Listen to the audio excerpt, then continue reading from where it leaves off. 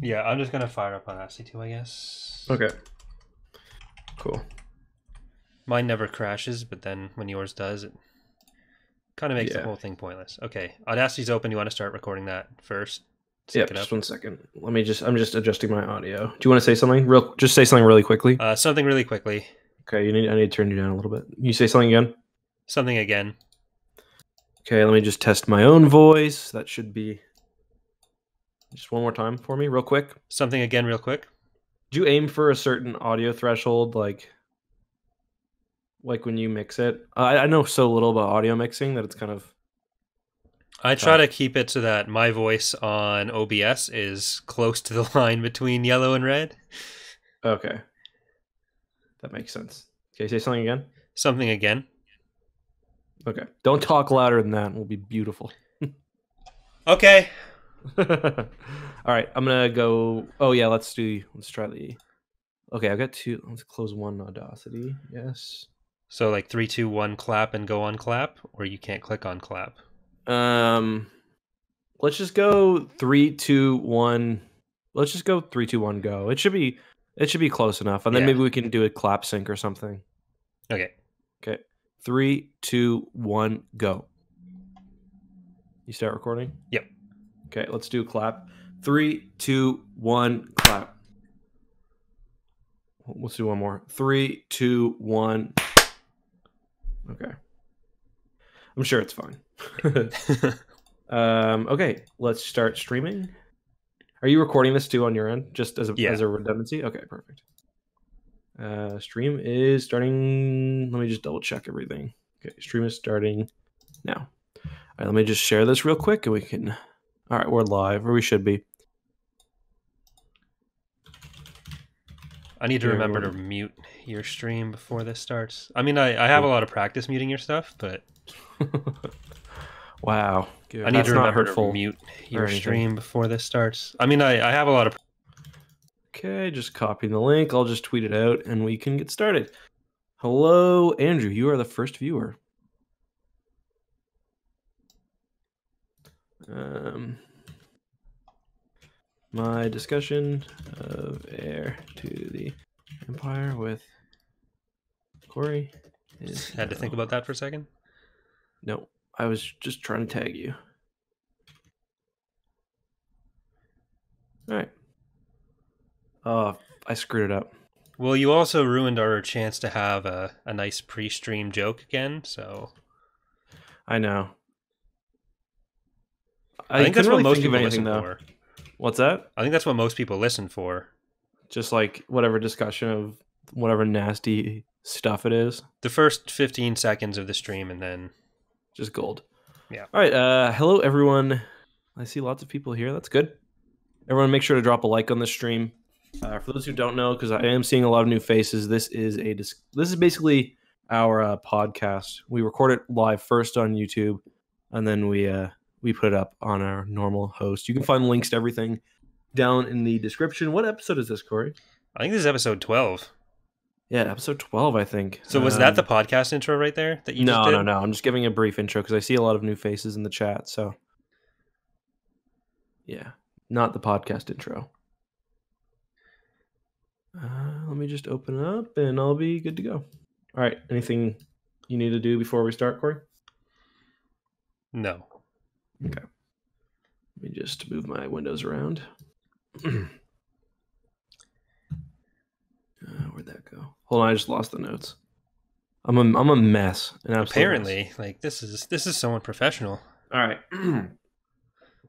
hey guys, this is Justin, joined as always by my co-host Corey. Welcome to another episode of Tapcaf Transmissions, and this is the one that I think a lot of you have been waiting for. Part one of the uh, the jewel of the Star Wars EU, the Thrawn trilogy.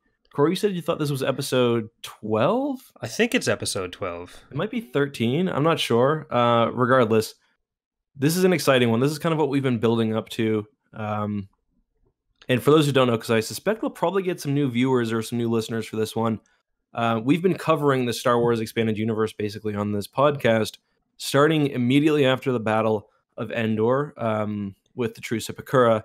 And now we're what five years after with uh, Heir to the Empire, book one Yeah. of the Thrawn trilogy. We're five years after Endor, about nine after Yavin, eight or 9 Mhm. and uh, yeah, this is this is really where it peaks. This is so if you're gonna listen to this episode, you can listen to the next two probably, and then just unsubscribe. yeah, we're like we're gonna be going for years and years after this, and always looking back to this as our. We're gonna be basically the people who are like late 40s, 50s, wearing their like high school varsity jackets. Yeah, That's that's Tapcaf transmissions after this episode.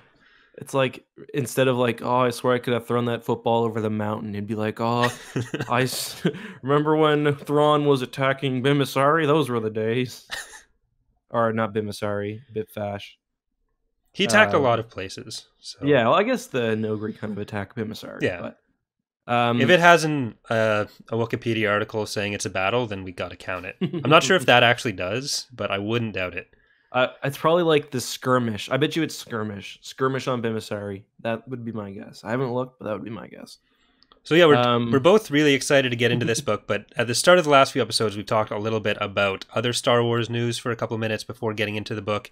And Mhm. do we want to Yeah, quickly no, let- mention let's- Mandalorian let's and Fallen right. Order, or Yeah, I mean, I I also want to talk about my my tracing thing because that's kind of been my oh yeah, personal- yeah, yeah, But uh, how but you yeah, were hired by Marvel to trace a bunch of ship art, and now you're trying to expose it. basically. Uh, no, but let, let's talk about the nice things first because I think both. Did we get to one episode of the Mandalorian on last last time? Was it after the pilot? Uh, I think we did it the night before the Mandalorian started. Oh right, because it would have been Thursday. Yeah, Oh man, that show's been so good. Like, like it's been episodes one and two have both blown me away. Like, I Mhm. think The Mandalorian is like my favorite Star Wars thing that you can watch, not including books, because you don't watch books. But it's, it's de- I think it's my favorite thing. Since besides maybe Revenge of the Sith, since the original trilogy, I'm really digging it. I actually think the like the TV or epi- I guess not really TV, it's streaming, but uh, Yeah. that kind of format works really well with Star Wars because you get uh, the main plots, obviously, but you also have a lot more room to expand on the broader details of the universe, especially with how they're doing it, where we're getting like I was really afraid that we'd have a situation where it's like you get uh, a couple aliens thrown around here and there Mhm. because it's just so much cheaper. And I'd I'd understand why they were doing it. it would be disappointing, but I'd understand Yeah, because just the the hassle of getting everyone into costumes, the budget involved in that. But they've been Yep. really good about stuff like that as well. So I'm really excited for what the series is going to be like going forward. Yeah, I've noticed a lot of that too. Like even in the last episode, it was like those little frog or not frogs. They were Those like, are called Jawas. You you're the Okay, worst Star listen, Wars fan ever. Listen, stop. No, those little lizards that like they follow them like when they walk down the. uh They're like walking through the cave or whatever, or not a cave, through like the canyon. yeah. Like they're just there for a second. Um, I thought that was pretty. Like, then those aren't going to reappear because yeah, that, that's the thing that you that, like. I certainly worried about too. Um, if it's going to be a TV show, like how much money are they going to spend on like little scenes or little costumes that will appear once then never again? Mhm. you know like part of the reason why i love star wars so much is like because it feels like a very it almost feels like a living world certainly the original trilogy does um you like look at the cantina and all the aliens are like fully fleshed out and stuff so i was kind of a bit worried Yeah. that um and we weren't should probably avoid going into any like spoilery stuff on the podcast as well Yeah. before we we haven't said anything yet, but just to Yeah. reassure everyone there. Mhm. But um yeah fallen order 2 uh what, what have you thought of that game i think we mentioned that a bit last time i can't remember but it's a fun game i haven't beaten it yet but i've been really enjoying it yeah, we mentioned it a bit, but it was also not out. So uh, Mhm. yeah, I I've never played a like a, a Souls like game, I guess. So Mhm. it's all fairly new mechanics to me. It took me a while to get used to the combat, but once I did, uh, like I always enjoyed the exploration part of the game, but the more that I've uh, the more that I've played and gotten used to the combat, the more I've liked that as well. Uh, Mhm. seems to have a solid story. I'm only a couple hours in. I'm not super far in the game yet, but Right. Yeah, I was, watching some of your stream. Um, I think you kind of ended. Yeah, like it's it's a it's a pretty long game, and I mean it, it's hard, and there's a lot of backtracking, so that kind of stretches it, it out a bit as well. Um, I've been really disappointed of how um how people have been like spoiling things on YouTube though. Like if, if you are on there like like and you watch a Fallen Order video, you, you get recommended these things that have like final boss fight in the picture. Like I won't say who it is, but or what Yeah. it is or whatever, you know, like because there's various fights. It's just like Well, there's kind of the Uh, same thing with The Mandalorian, where there's a lot of people who won't even have access to it Yeah. legally for like six Till months or March, isn't something. Yeah. But, uh, but yeah, there's just pictures of certain things all over the internet, Mhm. and even That from was a weird official channels too, which yeah, it's like weird. th- th- that was a weird choice. It, another thing kind of weird about the Mandalorian is like I really don't like the air like the airtime they chose. Like like um it, it it first is posted at like five in the morning or whatever, at least my time. Um so it's like people who are staying up early or who are who are getting up early or staying up really late can watch it, but like the vast majority of people cannot. Then those spoilers are just out for everywhere Yeah, it for everyone. Um, and yeah, not a big fan of that. Hopefully, uh, like I'd much prefer if they just moved it to Thursday night. Thursday night prime time. Yeah, prime time Thursday night. Have it released at like, and plus that way you can get like hype for it too, like people getting excited. Um, you know, like watch parties and stuff. I don't know. Yeah, Like a big a big part of like a fandom is getting ready and watching that stuff. So would be nice, but yeah. So I think uh, both of our takeaways so far has been new stuff good. yeah, it's it's been a a nice like not very controversial couple of weeks, which we haven't got a lot recently. So Yeah, Um, I think that'll probably change. I don't, I don't know. I'd try to be optimistic, but Yeah. there are certain. Yeah, yeah. Um, so I've also been, and I mentioned this earlier. I've been my the last couple weeks. I've been doing this project basically with a few people where we're tracking down all the instances of tracing in Marvel fan art, and it started with when somebody. I mean, a lot of people who watch this might um be familiar because they're subscribed to the channel, but um, it started off with someone sent me a picture from the Star Wars Allegiance comic line, and the ships in it in the comic itself were traced from um, models made by somebody who basically sells 3D prints of uh, of for tabletop games of ships, and you look at the image in the comic, and they traced everything, including like the little uh, I don't know what pegs, I guess that the models stand yeah, on. like the little support Yeah. inserts. Yeah, not good. Um, and that kind of like started off a big thing. And I reread through all of um, I reread through all of the Allegiance the Four comic arc, and I found out that every single capital ship and almost every ship, I I just couldn't find references for um some of the like like there's a random fighter which isn't even named, for example. I couldn't find references to some of those, but every single one was traced from fan art. And like every day, it seems like it gets deeper. Um, like in my original video, I pointed to the Marvel, uh, or sorry, the mainline run of Star Wars. They had the uh, the Mon Cala arc, uh, the Mutiny on Mon Cala arc, where there's a bunch of new Mon Calamari capital ship designs. Have you have you read that one? No, no. Uh, but basically, it has like a bunch of really weird Mon Cal ships. Like it's just like a Mon Cal cruiser with like wings coming out of it in random places. It's kind of cool because it gives uh, more than lip service to the fact that each ship is supposed to be um, supposed to be individualized and whatnot. Uh, but just now, before the podcast started, someone sent me the models that those were traced from.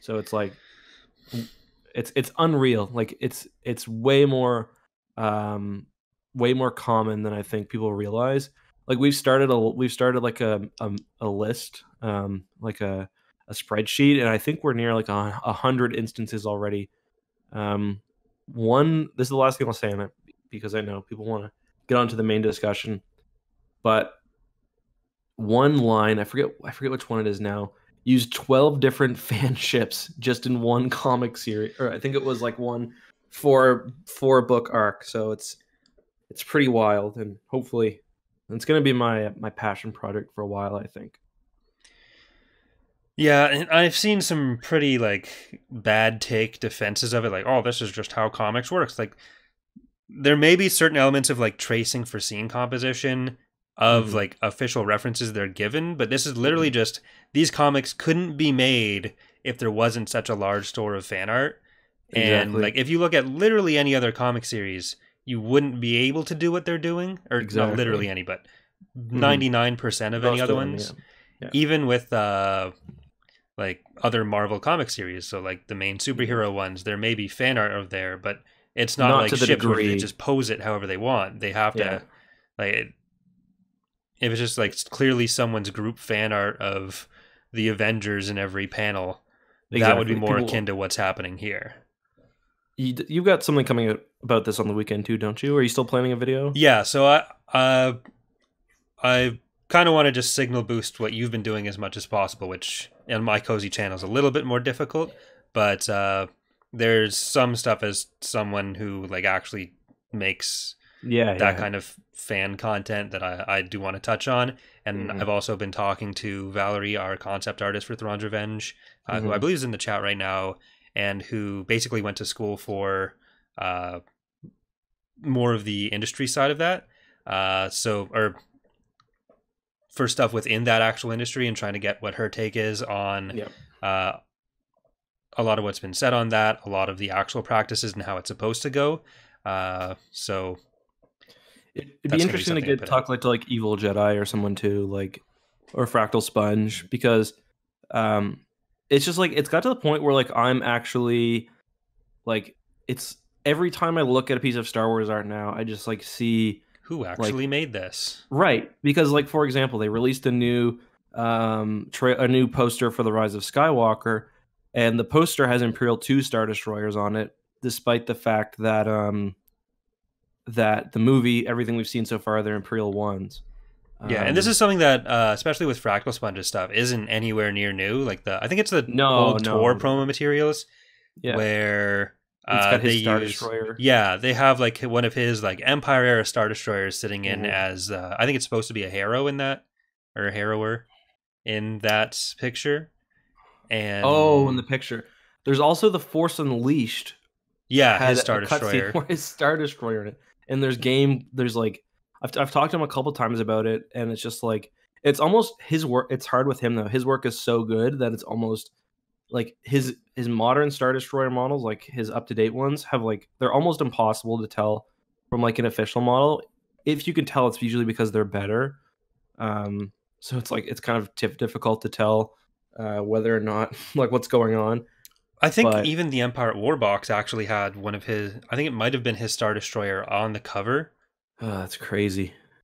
but Um, yeah, but like for the Essential Guide to Warfare, they were good enough to pay for his art, um, like his renders and yeah. yeah, Like there's clearly Um, a lot of uh a lot of places in Star Wars where it happens, but it also seems like it's a bunch of individual decisions. It definitely needs more oversight Mhm. from definitely. uh Marvel in this case and uh any other individual production company or uh series production, but it it's ridiculous.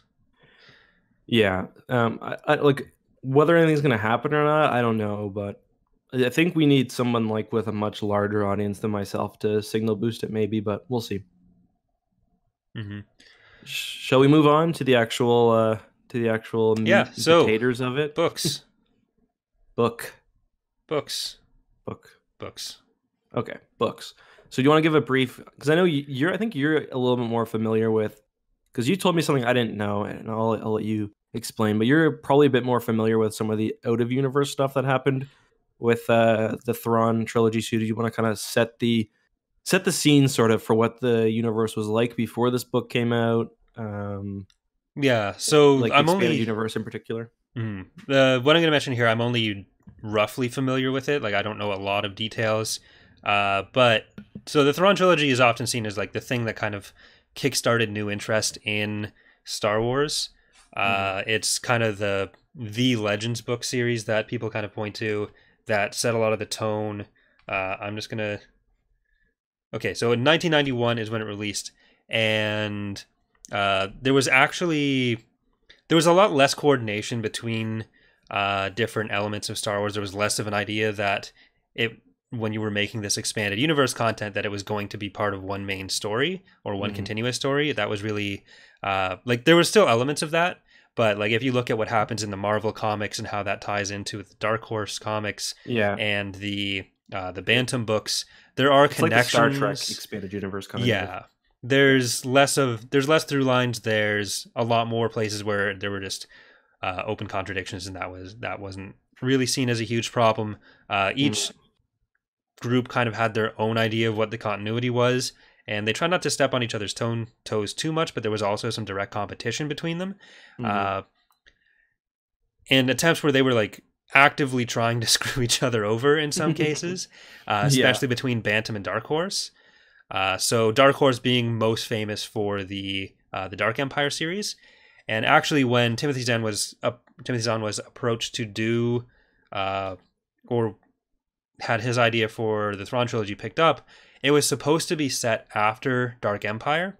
which were being produced at like the same time. Yeah. So the idea was that they were asking him to incorporate some of the things that happened in Dark Empire into his plot, but he was basically saying, "No, I will not do that."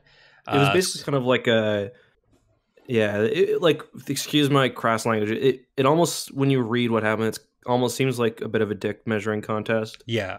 like, And- between Tom Veitch and Timothy Zahn. Yeah, and and this isn't something that was unique to him. Uh, so No, we both have, a, I think, a very high opinion of Timothy Zahn. So we're not saying that and like no, no. as a way not. to like uh, shit on him or something. And especially like the idea of these broader universe canons, uh, collaborative canons like that is at that time, like early '90s, there was a lot less of that. Yeah, I Uh, mean, it, people like the idea of I think Star Wars, like the Star Wars EU, especially like probably the the Legends expanded universe, is almost like a unique. Probably at least the time it came out is almost a unique thing in that, like the degree to like the inter like connectivity interconnectivity. Like if you look at the Star Trek expanded universe, I know very little about it, but I know that it's essentially like does its own thing. There's there must be hundreds of Star Trek books, um, and so I, th- I think if you think of what an expanded universe is now, you're probably like taking in like the current status of what expanded universes are like because of how Star Wars sort of changed to things. Yeah, the and even within Star Wars, like I mentioned, that Del Rey was kind of where that turned around when they picked it up, and mm-hmm. like the NJO, New Jedi Order, so Yuuzhan Vong War, when that started, that was like their first attempt to have something with a lot of uh, major changes for characters, big impacts, big continuity Yeah. changes. Because a lot of the Bantam books, there are a lot that are really good, there are a lot that are uh, less good, Mm-hmm. but one of the overarching themes within them is that uh, by the time a series ends, very little has changed from the start. Totally. Uh, so even with the Thrawn trilogy, one of the things we'll see is that, like, yeah, it starts off. Uh, the New Republic is setting up. There'll be more set up by the end of it. Same thing with uh, with X Wing, but Mhm. fundamentally, there's not much that's gone on with the with the characters. They weren't. They didn't uh, have any major And shifts in what they were doing. Compared to some other books, a lot happens in this. like the Mhm. birth of the twins for example um that's kind of the twins is kind of an interesting one actually because from what i understand i think i tweeted i think i talked to pablo about this on twitter well he responded some, to some of my questions it's not like we had some sort of candlelight dinner or anything but so the twins is an interesting one because i'm fairly certain because that was like a thing in the in the first issues of dark empire there's no kids um, named besides I think Leia is pregnant with um, Anakin. with Anakin, Mhm. but then later because as, as most of you probably know or as I'm sure you'll understand, the Dark Empire was much less popular than the Thrawn trilogy, so it ended up being mostly that um, Dark Empire had to sort of incorporate elements. It had to work with the Thrawn trilogy, and it doesn't. And Timothy Zahn didn't have to sacrifice really anything of his vision. Mhm. Um, but really, I mean, Dark Empire doesn't sacrifice that much. Uh, the Dark Empire source book does a lot of like the legwork on making the two work together and does actually Yeah. a a, a really good job. Um, but maybe maybe there um, someone said it's mentioned in the first issue, but re- regardless, um, Well, that's something that's uh, kind of the the tier system that Legends had that was introduced uh, mhm. at the end of the 90s, early 2000s where it was like the movies are the top canon, uh, then you have books, then Yeah. games, comics, whatever, and then uh, with stuff like Marvel comics, it was specifically said that the other authors people could pull whatever they wanted to use from them for future materials Yeah. but if they overwrote or disregarded it then that was fine their stuff would take precedence and then when uh, uh, when the clone wars cartoon came out uh, t canon was added just below movie canon because george Yeah. lucas was directly involved in them Yeah. um which Yeah, is why it's I, it's super frustrating like making fall of the republic our clone wars mod uh, which Mhm. we're going to be streaming after this uh, plug uh, that that gets labeled as like oh that's disney canon only but it's like that if there's one thing that's not the movies that george lucas had a hev- the heaviest involvement in it was the clone wars cartoon Right. so it Yeah, and like if like people have pointed this out, but George Lucas, you know, he told what 12 hours of stories or whatever um with his six movies. But the Clone Wars is, you know, like he put much more t- like of his actual like that like that's so much content that comes from his brain. So like definitely don't like don't sleep on the Clone Wars, especially for like fundamental things about how Star Wars works and whatnot.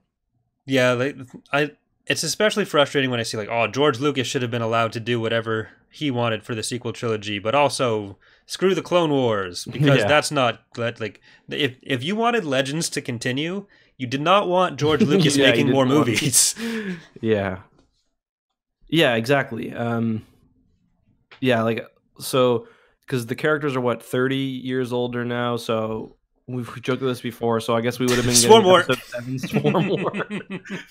the unseen queen.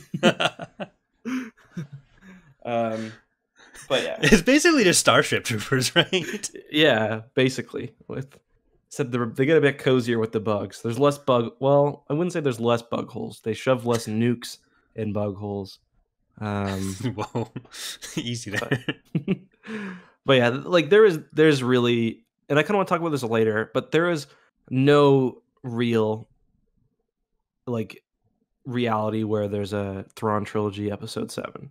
i don't think that would be good like I don't think, it'd be good either. I think they're an amazing book series, but yeah they're, they're a good book series but translating them into film it would not have gone well no. uh, this book is probably the best example of why, I think. Yeah, and can you imagine like a, we're gonna spoil Last Command and Dark Force Rising, I'm sure, many times during this podcast as well. Yeah. But can you imagine like the big reveal in a Star Wars movie, like Luke Skywalker? yeah. No, that would have been and like C'baoth is a good villain and Thrawn is a, is a great villain, but none of them are as evil as the em- as the Emperor. So it'd be super weird to go from, you know, the setup of the of like the first six movies to you know fighting basically Thrawn and C'baoth, who's like a shittier Emperor, basically. yeah, uh, I think a lot of Thrawn being an actual good villain does come from Zahn's later work with him. I don't Uh, disagree. He's a he is a bit two dimensional. Mhm. in uh, especially out of the Empire, but we get a lot more of like evil McBad guy Thrawn in this than we ever do in anything later. Uh, Yeah. Especially in uh, how he's talked about in the Hand of Thrawn duology, uh, and then even more with Outbound Flight, where Mhm. Zahn has an idea of like how he wants it all to tie together because he was basically in Outbound Flight, tying together everything that had ever happened in Star Wars up to that point. Yeah, Uh, and I think it works really well, but it does Yeah, it involve some slight retconning to who Thrawn was and why he was doing what he was doing. Mhm. Um, but yeah, and I mean, he definitely pl- he did sort of he made it easy on himself because he even plants a seed for the outbound flight in this book. Um, yeah, they they talk about it specifically, but like how that ties into uh, the Vong War, why Thrawn was going to the Empire at any point, mhm. uh, his exile, yeah, uh, what a chiss is. yeah. I, I it's kind of surprising we've we've I mean we've got some information about it, but still a lot of his like sort of pre-campaign time and like the Chiss ascendancy and like making the Empire of the Hand is still kind of mysterious. hmm Uh, that, I think that would have been a cool. There's, I think there's would have been room there for for some stuff. Like, I more of the Empire of the Hand generally, I think would have been good. in Have you ever read Uh, like choices of one, allegiance. Yeah, other. yeah, yeah. yep, yeah. That's about as much as we ever get of Yeah. his time at the, and like, I think a lot of it speaks to just Zahn's improvement as a writer and how his style changed from, uh, from this point, which are some of his earlier books, Mhm. uh, to things like Outbound Flight, where uh, the characters do become a lot more nuanced, and that says a lot more about about him rather than necessarily like like there's going to be a lot of just there's going to be a lot of stuff that I'm somewhat critical of with this, uh, with the Thrawn trilogy in general, but it's more comparing it to yeah. what Zahn becomes later. Like I still Mhm. love these books, but there is some stuff that sticks out that I don't think are choices he would have made uh, in later. Like if he were to rewrite the Thrawn trilogy now, which he kind of is, uh, to an extent, but we're going to talk about that. Uh, that I think it would be even better than in, than what we got, which is still really good. So Mhm. that's kind of where I come from with it. I- I think what this book, no, I, I agree totally. This book is kind of la- not lacking on nuance. Well, maybe lacking on nuance. I think one of the reasons why it's so loved is because he kind of nails the world building. Yeah, He nails the. Uh, I think he. I think he actually nails the main characters pretty well. Um, although maybe a bit too reliant on the original trilogy. Um, but he, he makes like he he sets up a compelling universe and Mhm. then you're right. Later on, he makes Thrawn as a character much more interesting. Um, like reading the Thrawn duology, especially like the parts where they're on, like at the hand of Thrawn, like the fortress, has to be some of the most like exciting stuff in Star Wars. I Mhm. think, like like where they're learning about like Thrawn's machinations and like his like him preparing to return and like the the outsider threats that he's like been getting ready for um and like that's that works i think because this book kind of in this trilogy and everything else sort of give credit to like they they give it a pedestal to stand on i guess Yeah. and the And- credibility i guess like he does really well with established characters. He does really well with characters like Pellaeon and basically anyone who's not, I think, Thrawn and C'baoth, because he was, I think, I think he was a bit too concerned with trying to make them out to be as big of threats as they were. That Yeah. in certain areas he'd go into uh, overemphasizing either how bad they were, how competent they were. Mhm. um and that those are there's i think just two parts in this book that really stand out to me as like taking a good premise good premise good premise falls off a cliff. I know the first one you're gonna say. There Mark there's Sable. two that I, I go off on fairly often and Marg Sabl and kashyyyk th- those are my guesses. Yes. Yeah the ship transfer and the yeah. in the art. Yeah um i mean the the, the Marg Sabl actually three there, there's a there's something with Sluis Van Let's okay. All right. Should we? I mean, but they do. Yeah. Okay. Should we? Should we just start off with uh, plot? And maybe Uh, yeah. like like we, we can start right off with Marg Sabl unless you want to talk a little bit about um like maybe we should set the scene I guess first like what's going on in the universe Yeah. and whatnot. Um, Sounds good. So the New Republic th- by this point they've killed Zsinj and they how how how far is this after um I think this after is one year after. I think Right. Zsinj one maybe two because I think this is early nine ABY. Uh, Zsinj was like 8.5, 7.5 to 8.5, but I Mm-hmm. Right. could be slightly off on that. So by this point, the New Republic is like they're not really dealing with external threats. Um, they're really just trying to like get their shit together. Like there's a lot of discourse like within the or discord within the like ruling council. There's like it's almost like factionalism. There's like Borsk Fey'lya and and Admiral Ackbar really are vying for control and more than that though there's like a lot of logistic problems with like setting up this like new republic a lot of the early book is about well all the book really is about them trying to get like the infrastructure back in place like there's the the, the empire spent a lot of time getting you know shipping lanes set up. So the new republic is trying to deal with that. They're trying to deal with bringing new planets into the new republic um, just setting up how to govern and how to rule um, which i guess it's less dangerous than um, like less mortally dangerous than fighting imperial warlords but uh, i think it does a good job of showing that the New Republic is literally it comes near cracking a few times. Um, No Kraken. I don't think he comes up in this book. cracking a few times throughout this uh, trilogy.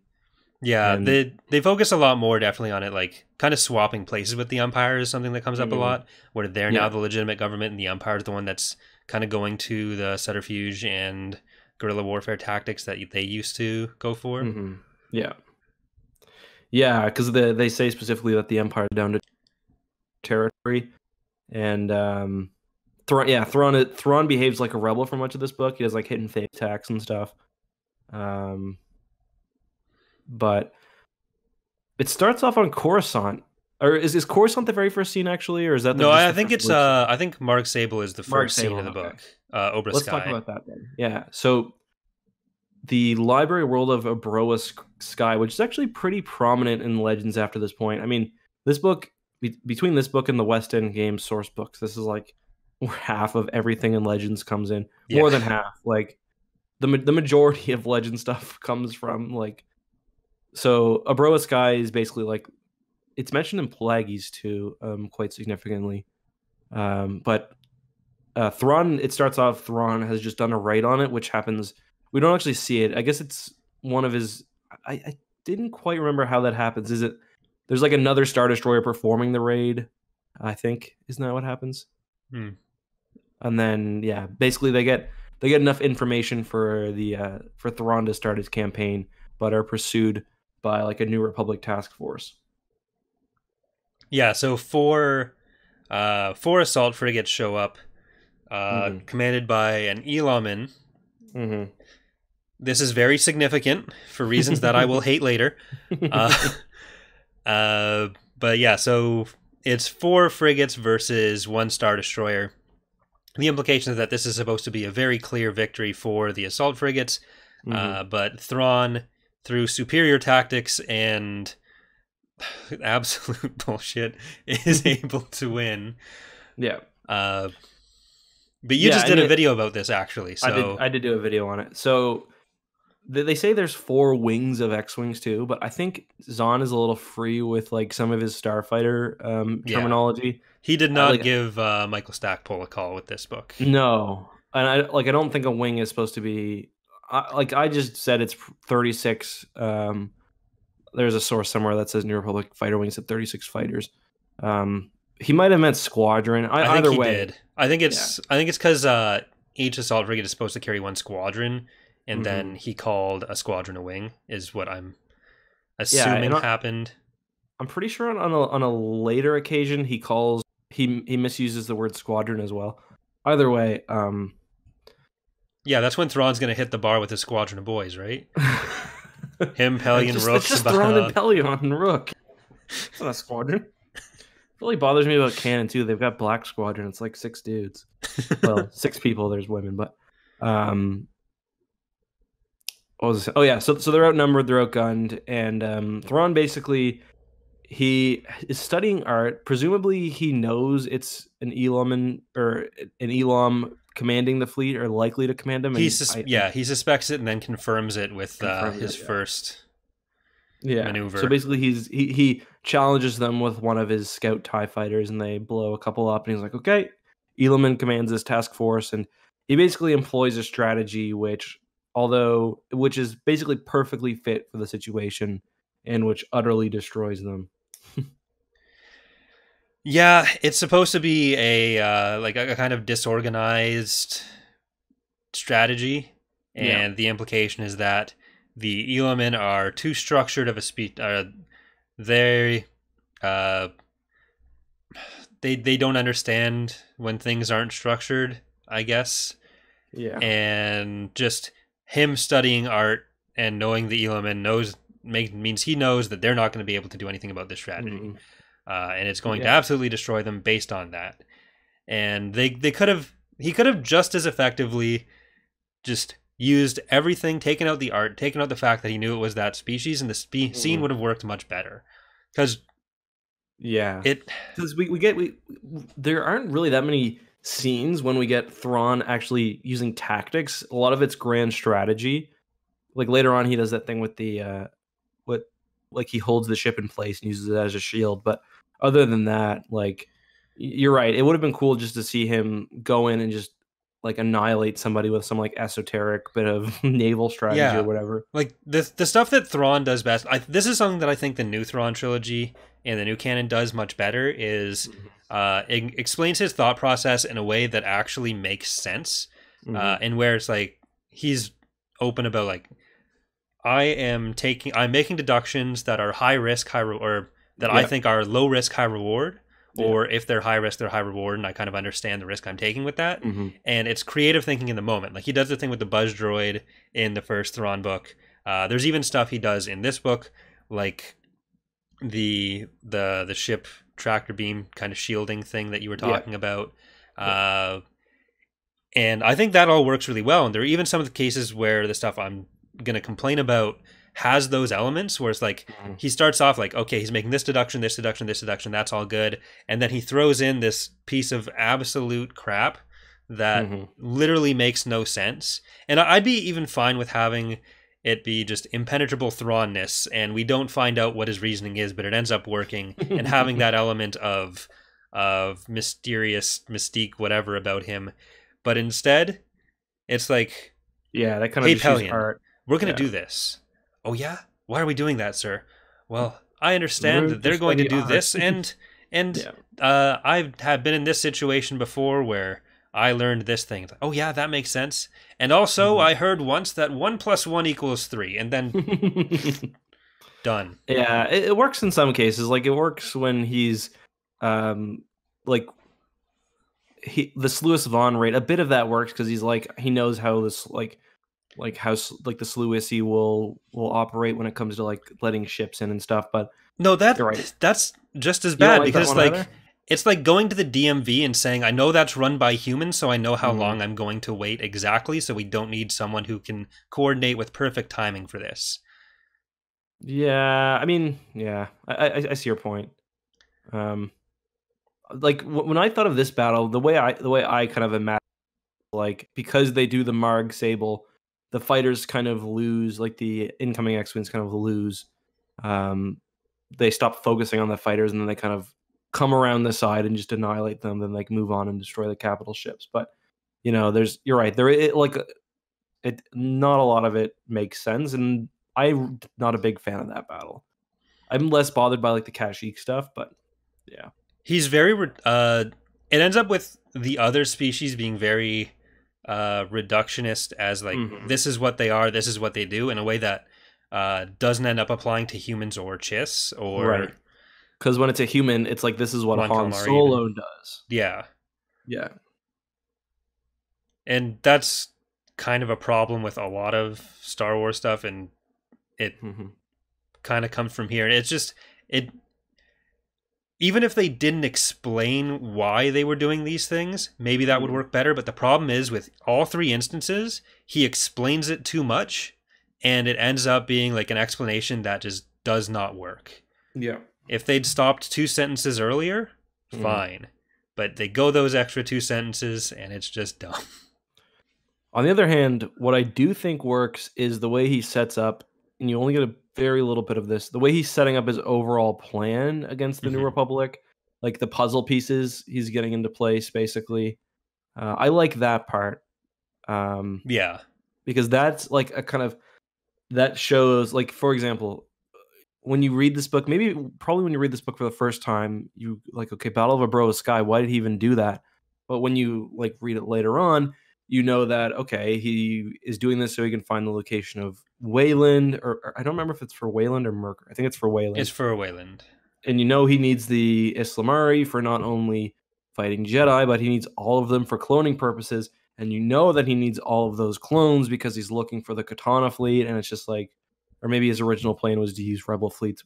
Regardless, it I think it works much better by the time you get to Last Command. And you sort of see how everything has um has kind of progressed and how he's taken all these little pieces kind of scattered across the galaxy, and uh you know made a like a legitimate claim Yeah. to the yeah like with the cloning thing actually that's one of the things that i were or one of the things i think works really well Mhm. when you go and do rereads of it because so much of Pellaeon scenes are talking about like uh, discipline and experience has kind of been worn down.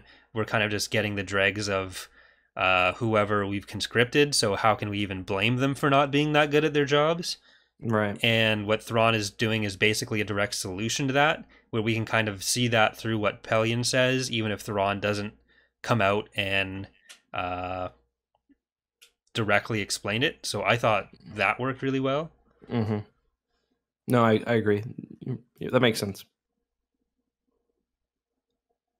Uh, anything else for Obroa? Um, anything else for Obroa? I don't think so. Um, oh, one thing that Star Wars that this book really uses, and I, I mentioned this in the X-wing books, is the idea of etheric rudders. Um, did you notice that he mentioned those a lot no. as like a it's like a ship part? Um, so I was reading up on this because you know physics in Star Wars operate, and just generally, it's probably not a good idea to look into the physics of Star Wars because there's no, for example, like there's no relativity when it comes to traveling near or beyond the speed of light or whatever else, uh, or near supermassive objects or whatever else. Um, in the Last Jedi, for example, in anything Star Wars, you see, for example, if a ship turns off its engines, it stops, even if it's in space. And space itself kind of behaves in a really weird way with how the fighters work. So, um, one, uh, and I'm I'm not really very knowledgeable about physics, and that might come through. But um, one idea was basically, and I read a really nice write up of this on Reddit somewhere. Try to remember to link it when I put this video live, or I'll probably do a video of it on my own eventually. Um, that the Star Wars universe, the uh, the space has like an ether, like a like almost like a physical aspect to it. That's why if you are in a fighter and you slow down, that uh or if you're in a fighter and you turn off your engines, that you eventually slow down, or why you can pull these kind of weird turns without stopping and turning, or why um, you know space carries sound. I guess it was initially a uh, um, a theory of real life physics that obviously didn't pan out. Um, and I guess the old West End games and maybe uh, Timothy Zahn were for a while considering making something like that a more uh, like a more significant part of the canon, but it did kind of largely get dropped later on. Yeah, they they actually uh if you read Riptide and Crosscurrent, uh you find out that space is actually just full of midichlorians and that's what they're that's I 100% made that up for. Well, I mean, the idea with like the the the ether is that it's like basically a, a force or like a like it basically connects the whole like all of mm-hmm. space and all the universe. So it, it would kind of play into that idea. Um but yeah. Ultimately obviously star wars didn't go that way. And it's probably better that you don't over examine that sort of stuff because it's just it's too like it's it's just you don't need like i don't want them to talk about why you hear sound in space. I don't like sometimes they talk about how like there's sound reproducers in the ship or whatever. Just like ignore yeah. it and, and that's that's kind of the same idea, the flip side of what I'm talking about with some of Thrawn's stretches. Like I'm I don't even necessarily have a problem with him doing the stuff. It's just yeah. then they explain it in And then you have to really think about it. and then yeah, and then the explanation falls flat and exactly. it turns into a just it, it's it's it's ultimately a series about space wizards. So yeah. I'm being I'm fine with being told that these are things that can happen and these are things that do happen. Mm-hmm. But then when they try to ground it too much, like that Star Wars is science exactly. fantasy or space fantasy, space opera mm-hmm. rather than science fiction. So it, it's really not in its wheelhouse when it mm-hmm. goes and tries to do those things. Like there are some uh, science fiction, more traditional science fiction authors that uh, write Star Wars books, and they handle it really well. And we got, a, I think, a bit of that did show up with like medical tech in uh, MedStar, but mm-hmm. on the whole, I think Star Wars doesn't do well when explaining itself too much. I agree. Um, I I guess it's like you get some of that with like um, Black Fleet Crisis, if I remember correctly, is really science heavy, and some of it just kind of falls yeah. flat. In yeah, that. I don't hate Black Fleet Crisis. You really don't like it, do you? I don't enjoy it. It. I don't hate it. Mm. I just mm. don't enjoy it. As a so as sort of a um, an example of because I guess the way you're explaining Thrawn might seem abstract to people, but I, I think what your point is, if you, yeah, like when you over explain something, then you bring too much of the logic in, and the logic is pretty easily like waved away. Like as an example, when it comes to like sound, like I talked about the sound um, reproducers, then how come every every time a ship is disabled or someone's floating in space, they still hear sound? It's like when you start to bring the logic in, you open it too far for um I, I guess you expose kind of the issues with it. Yeah, I'm I'm gonna find the quote if I can. Uh, for when they're transferring, because that's the other thing that I haven't mentioned yet that just always is stupid to me. Mm. When they're doing the transfer for Kashyyyk, uh, mm. and I'm going to find the exact. It's a long quote. quote. It's really dumb. I I just want to find the exact it's place like where I start game. having a problem.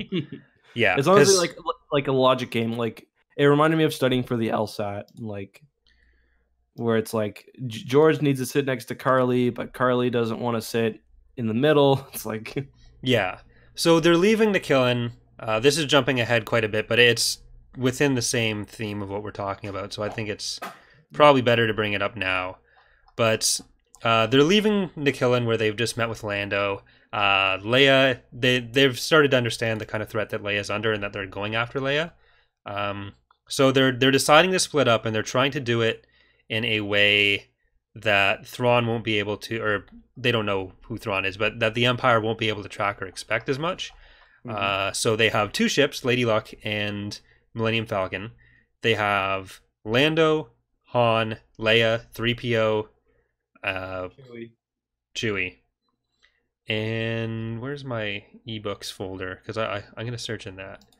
But the the plan that they end up coming up with is that uh, Han and Lando are going to take the Millennium Falcon, and they're gonna go. They end up going to Abregado-rae, trying to track down a slicer uh, that they can use to kind of hide Leia better and still hack into uh, New Republic diplomatic transmissions so they can so that she can stay tuned in to what's going on in the galaxy, but still be hidden and safe without anyone knowing where she is. Which and this is a good. Should have been able to get some sort of certificate from the Republic. Sorry, go ahead. well, then whoever gave them the certificate is going to be uh, in on the. Like, basically, they want to keep this as quiet as possible. Yeah, yeah. yeah. Uh, no, it, it, does make sense. but Sort I, I don't have an EPUB reader anymore. That sucks. Winter could have probably done this, but but Leia is gonna go to Kashyyyk, and she's gonna go with Chewie. Three yeah. PO is going with uh with Lando Han and Lando, yeah. and they kind of program her.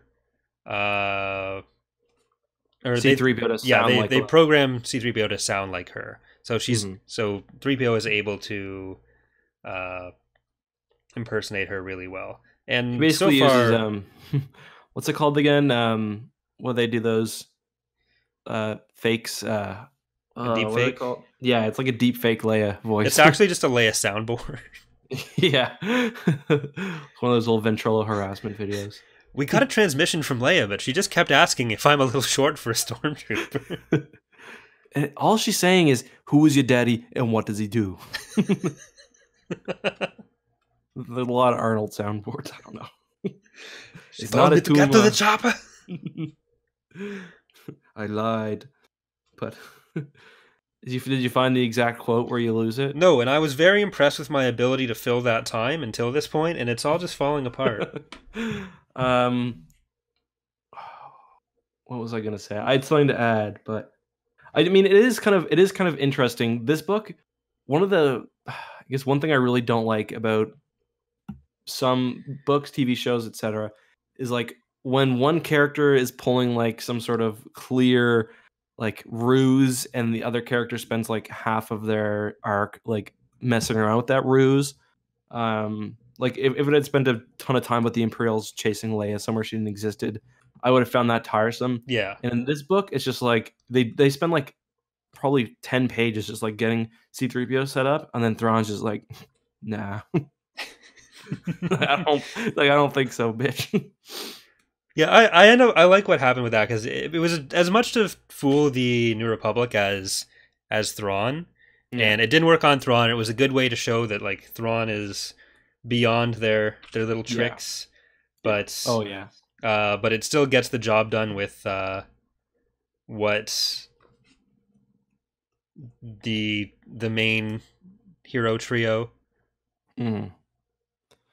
Yeah. Uh, I mean, so I wasn't able to actually the open way too, the, the ebook. Is the problem right Oh, now, okay. Ghostfish? I'm Okay. looking for the page number see of the actual I'll see if I can book. get it on mine. But I mean, it kind of works the other way too. Like people, like there's not a lot of BS. Like it, it's it's honestly just like who does whatever they're doing better because like it's it's similar with the uh same thing when they get to. Myrkr. Okay, you it? All right, let's hear it. Um, consider the possibilities, Thrawn said, leaning back in his chair. Three people start aboard the Millennium Falcon, one aboard the Lady Luck. Three people then. Tra- so, first off, he can't be sure of that. Yeah.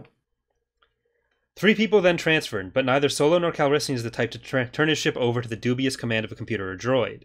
So each ship Mhm. must end up with at least one person aboard. But we also hear multiple times, multiple times in this book, how Lando slave rigs everything. Yeah, that's true. I didn't think about that. So Thrawn starts off with like so many wrong assumptions, hmm and even up to that point though, whatever. Uh, You know what it reminds me of though? That the the like logic game where it's like you've got a goat and a tiger and a fisherman. You've got to get them all across the river, but you can't leave the goat and the tiger together. Yeah. you can't leave them. It's just like just like that. and he times how long it takes for them to transfer, and it's like four and a half minutes or something. Yeah. And he's basing so much of this on those assumptions and how long they're tethered together. Yeah. And like if he had just said, Patience, Captain, as you say, the question now is the final makeup of the cruise. Fortunately, once we know that there were three transfers, which he couldn't know, just leave that part out. Yeah. Uh, there are only two possible combinations. Either Solo and Organa Solo are together aboard the Lady Luck, or else Organa Solo and the Wookiee are there. Unless Mm-hmm. one of the transfers was a droid. Unlikely historically. Uh, Solo's never liked Yeah, droids nor allowed one. to travel That's the aboard one that ship. really I didn't like. Solo's got droid. Like it, when it comes to you know. Han Solo would do whatever needed to protect his wife. Yeah. Travel with the droid, like shut you could shut a droid off. Like this is a scene that is pure addition by subtraction.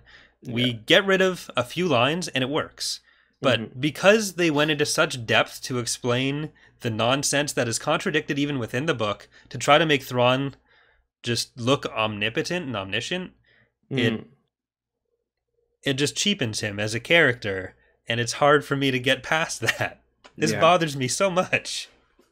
Yeah, and, and this is something that they, like you said, Thrawn really improves in like where his like abilities come from. Like they're they they become much more grounded even in canon. Uh, but someone in the chat said it's kind of like Thrawn's the kind of guy who does the math wrong but gets the answer right. Get only gets Yeah. half points. uh, but yeah, but it i i like to compare it to the to the buzz droid thing because i think that's this point where eli is even like uh how did you know that like i i didn't know that but i made these assumptions but I was right, wasn't I? uh, this is the chance i took this is the assumption i was working off of and that assumption is usually like he starts out with like his factual basis for what he's doing which in this Mhm. book he's doing but he's wrong about those factual bases yeah, and then he just says stuff that doesn't make any sense Yeah. uh, and that you could literally like the fact that Pellaeon doesn't call him an idiot for thinking some of this stuff is just he thinks it though. it He's basically like this dude. Like, what the hell? yeah and again i'm harping on this stuff but this is like the three parts of the book that i don't like compared to the rest which i love. So Mhm. i'm not saying i hate the book. It's just these are things that i think are super simple to fix. They're things that i think that zahn did fix in his writing going forward and Yeah. that's kind of why i focus on it so much. But yeah. I guess we need the uh the Thro- the Thrawn trilogy special edition. I'd be okay with that with more Utini or not more Utini, more uh what's what's the sound that that uh Lum Clunky or whatever that sound Maclunkey? that yeah yeah George recently added. um, I, I love how people are always like, "We need George. We need George back," and then George does like just classic George Lucas shit. like George Lucas works really well on a creative team where he has. Other people that can be like, mm, maybe we don't do that. yeah. Yeah. But Uh, let's move on though. Oh, one Yeah. thing actually I do want to note is that they have Thrawn after after the end of the uh, first battle. Uh, he's drinking ale, which I thought was kind of interesting. it's is it even specified to be Corellian ale? Because we get Corellian ale, No, it's not only Corellian. Corellia gets ale. No, it's. uh, I mean, it might it might just be. I don't know if they actually use the word ale. It's some sort of beer. I'm pretty sure. Um, What if Thrawn just spent the whole book trashed and we didn't know it? that's like that's like um when when Han leaves Leia and like him and Lando go out. I'm like, man, this this could go two ways. This is like Yeah. okay, Lando and Han might be productive, or they just go to like I don't know, like Nar Shaddaa and just get shit faced. Uh, break it away and just get shit. yeah. oh yeah, we were totally looking for that slicer. I like to imagine that that's the uh that's like the the stuff that happened off screen. Yeah, the the time span that Leia seems to be on uh on Kashyyyk does seem to be a bit longer than the Mhm. like we get two main we get basically two days worth of events for Han and Lando. So there's a lot of days where they weren't doing it. Like we don't know a what lot they of were travel time though too. This Yeah. this book's pretty heavy on travel time. But like while they are traveling, like you might as well get messed up, right? Like you think they were playing Burial Card on the Falcon? I think they're playing episode one pod racing. oh, I like that. That's a good idea, Corey. Charlie wouldn't know how to play. Perfect. He doesn't know how to play Burial Card either, so it's fine. Um, let's move on though. Let's talk about Coruscant, shall we? We should. This is one of the things from uh or the EU that did get picked up for. Yeah, it's like it. There are other examples, but this is like the thing. It's a pretty major Yeah. thing too. Um, we we talked about this before, but Cor- Coruscant itself is like as a concept, it wasn't invented by Zahn. Um, basically comes from early ideas for Return of the Jedi. Um, but the name, this is the fact that they brought the name into the movies is pretty unreal. I Mhm. think. Um, but but yeah, so Coruscant and like in Dark Empire One, they call it Imperial Center. I think um, they have like the same idea for a planet, but I guess they would have been separate at the time. yeah, Um, it's kind of like Imperial Center is kind of like the whole Bastion yeah, uh Sartinaynian thing where yeah, exactly. Um, and then of course, yeah, l- later later books use them interchangeably, but kind of Mhm. interesting. Um, but yeah, we get we get Coruscant. It's a little less um, like like it's it's- it's still a planet wide city, but it's a little less extreme. Like to me, I didn't get the idea that it's supposed to be like, um, 60 Thousands of- tiers of yeah, and like there's a, like the Manarai Mountains are described much like yeah.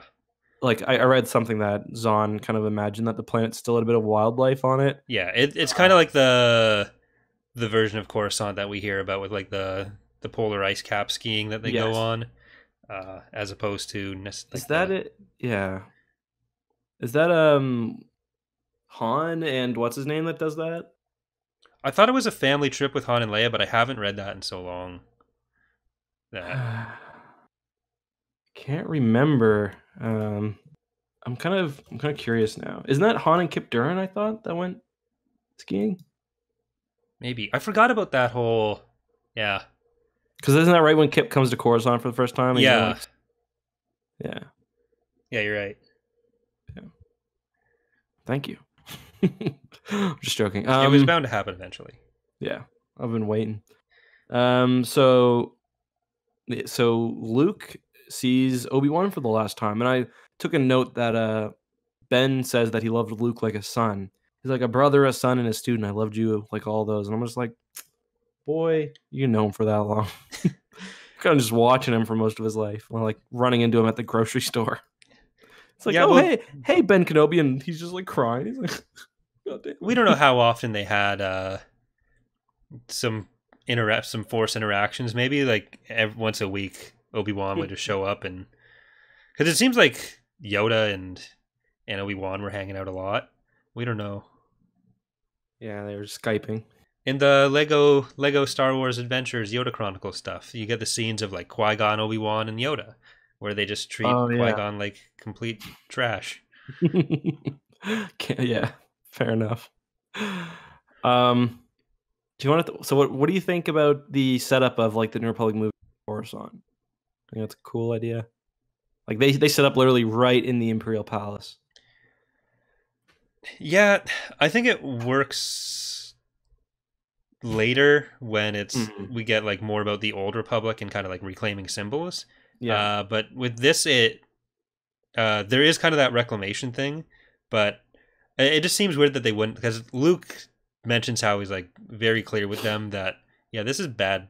This is a bad idea, and everyone, oh, it'll be fine, and it'll be fine. But uh, I do like the whole repurposing of those symbols, reclaiming all that stuff. Uh, but I, I do think if you have the only Jedi in the galaxy that you're aware of saying maybe don't do this, you maybe don't do this. but he's like, "Don't do this," but I can't explain why. but I do like later. They kind of deal with that later on too. Like in Fate of the Jedi, Luke is like, "Nah, we're gone," and he's like moves the the Jedi Order off course. And he's like, "Nah, screw this planet, dog." All the Jedi leave. but uh, you know that planet with all the dark side temples? I'm going there and taking all your children with me. I do like how uh, Plagueis talks about that a lot too, and how like, um, how Coruscant's basically like a shithole, and like nothing important should be there. it's just like for Coruscant, it's like um, I forget what to talk, but it's, it's basically like politicians if they're on Coruscant, they eventually find their way in the Undercity, and um, like nasty stuff starts happening to them, and like they start taking bribes and stuff. The Jedi, there's like lingering dark side power and shit. Um, Yeah, Coruscant is basically like the tourist districts in cities where it's like Mhm. there's it's so much trash just with a slight coat of paint over it to make it look yeah, semi appealing. yeah. As someone from Niagara, it, that's that's the analogy I go for. oh, so like the Jedi Temple would be like that, like museum that's there. Yeah, between the Jedi Temple and the the Senate, like whatever that the way of whatever with all the sculptures, I forget what it's called. I should know Mhm. that. But that is the the good area. Visitors tax. But yeah. yeah, see, you you know that. That's Yeah, uh, I knew it. I, I did not pay it. They, I went to like I don't know if it's a no like a Jack Astor's or something, and they were like, Mhm. okay, we got. It was probably the the bill and I Boston like- Pizza on Clifton Hill. I was like, no, I'm not paying this extra. It's literally twenty percent tax. Or is Eastside? No, Eastside Mario's. You guys have Eastside Mario's out there? Yeah, I don't know. Yeah, it was there's Eastside there's Mario's. one in my uh my dad's uncle actually used to own that wax museum. It was weird Wow. because so there yeah so like there's there's the one street in Niagara Falls, Ontario that's nice and that's presented Mhm. to tourists. The rest of the city is just drugs. Man, I got one of the drunkest I've been in my entire life at Niagara Falls. That's that's standard. It was the it was the but it was a funny situation. And if you guys are gonna be subscribed to this podcast, you gotta be ready for tangents and stuff. But it was when I was working as a lawyer in Ontario, there was like a big government lawyers summit. And I don't know if I told you the story before, maybe, but it was the night of um the US election where Donald Trump Right. won. And when things started kind of going the way they went, as, as you can imagine, Canadian government lawyers in Ontario are- aren't largely Donald Trump fans. But uh, anyway, either way, the uh, the election was just it was entertaining because it wasn't you know like people expected. So the bar, the uh, we were at a hotel and, and initially it was like um, they give you two drink tickets, but you know there's a lot of lawyers who don't drink because to be honest, there's a lot of issues with um, substance abuse in law. So I like I was just racking up drink tickets. You know, I, I had probably eight drink tickets by the end of the night. And then eventually, when the election started getting real interesting, they brought kegs out, and that like that night, I just remember, and I woke up the next day. I'm like, oh my god. I just like walk outside. It's like Niagara Falls. Like I missed every meeting I had that morning, like everyone did, and I just I was just wandering. I was just wandering, just like as hungover as I've ever been in my entire life. and I just found this like Burger King in the middle of a casino and just had one of those like chicken whoppers they had for a while. And it was like one of the worst experiences of my life, but also kind of awesome at the same time. That no, that sounds like a standard Niagara experience. yeah. Even living Yeah, that's there. what I was thinking. I was like, this is this is kind of what I expect. It's yeah, it's uh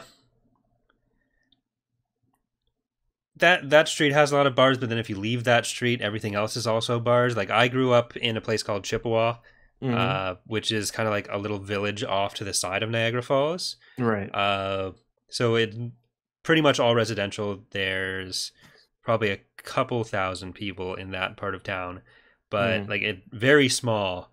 But there's an area of about two main streets, and there are thirteen bars at its peak. Beautiful. There, you could not. I think it's. You leave a bar, you walk for about 500 meters, you're at another bar, no matter what Mhm. direction you go in, until you get to the river. Right. And there's people drinking down there too. Well, obviously, those are the people that Um, are. They get their two What, what floors. what time from do the like restaurants close there and stuff? Is it two in the morning? Uh, for the most part, Yeah. Still, sounds greasy. it's It does sound like Argyle greasy. Street in Halifax, laser. Yeah. But yeah, uh, Star Wars. Yeah. Coruscant is Niagara Falls confirmed. That's basically what we're going for there. um. Yeah, I'm I'm okay with that. It's like if Niagara Falls was like a bit denser.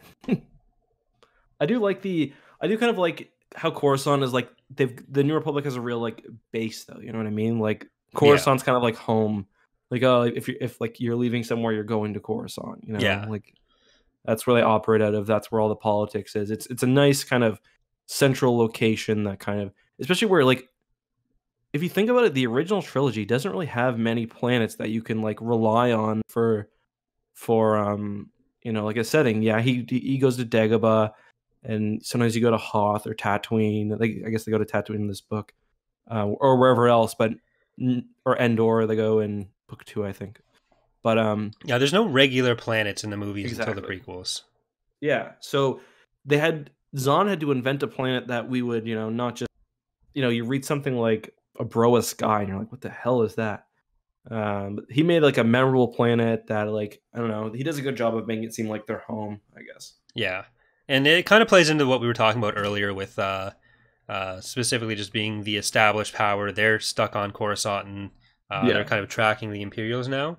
Mhm. um, and that's kind of the reason for the use of like the former imperial uh, facility things which also is an issue with uh, delta source i can't remember if it had anything to do with the fact that it was taken over imperial stuff that they originally got it.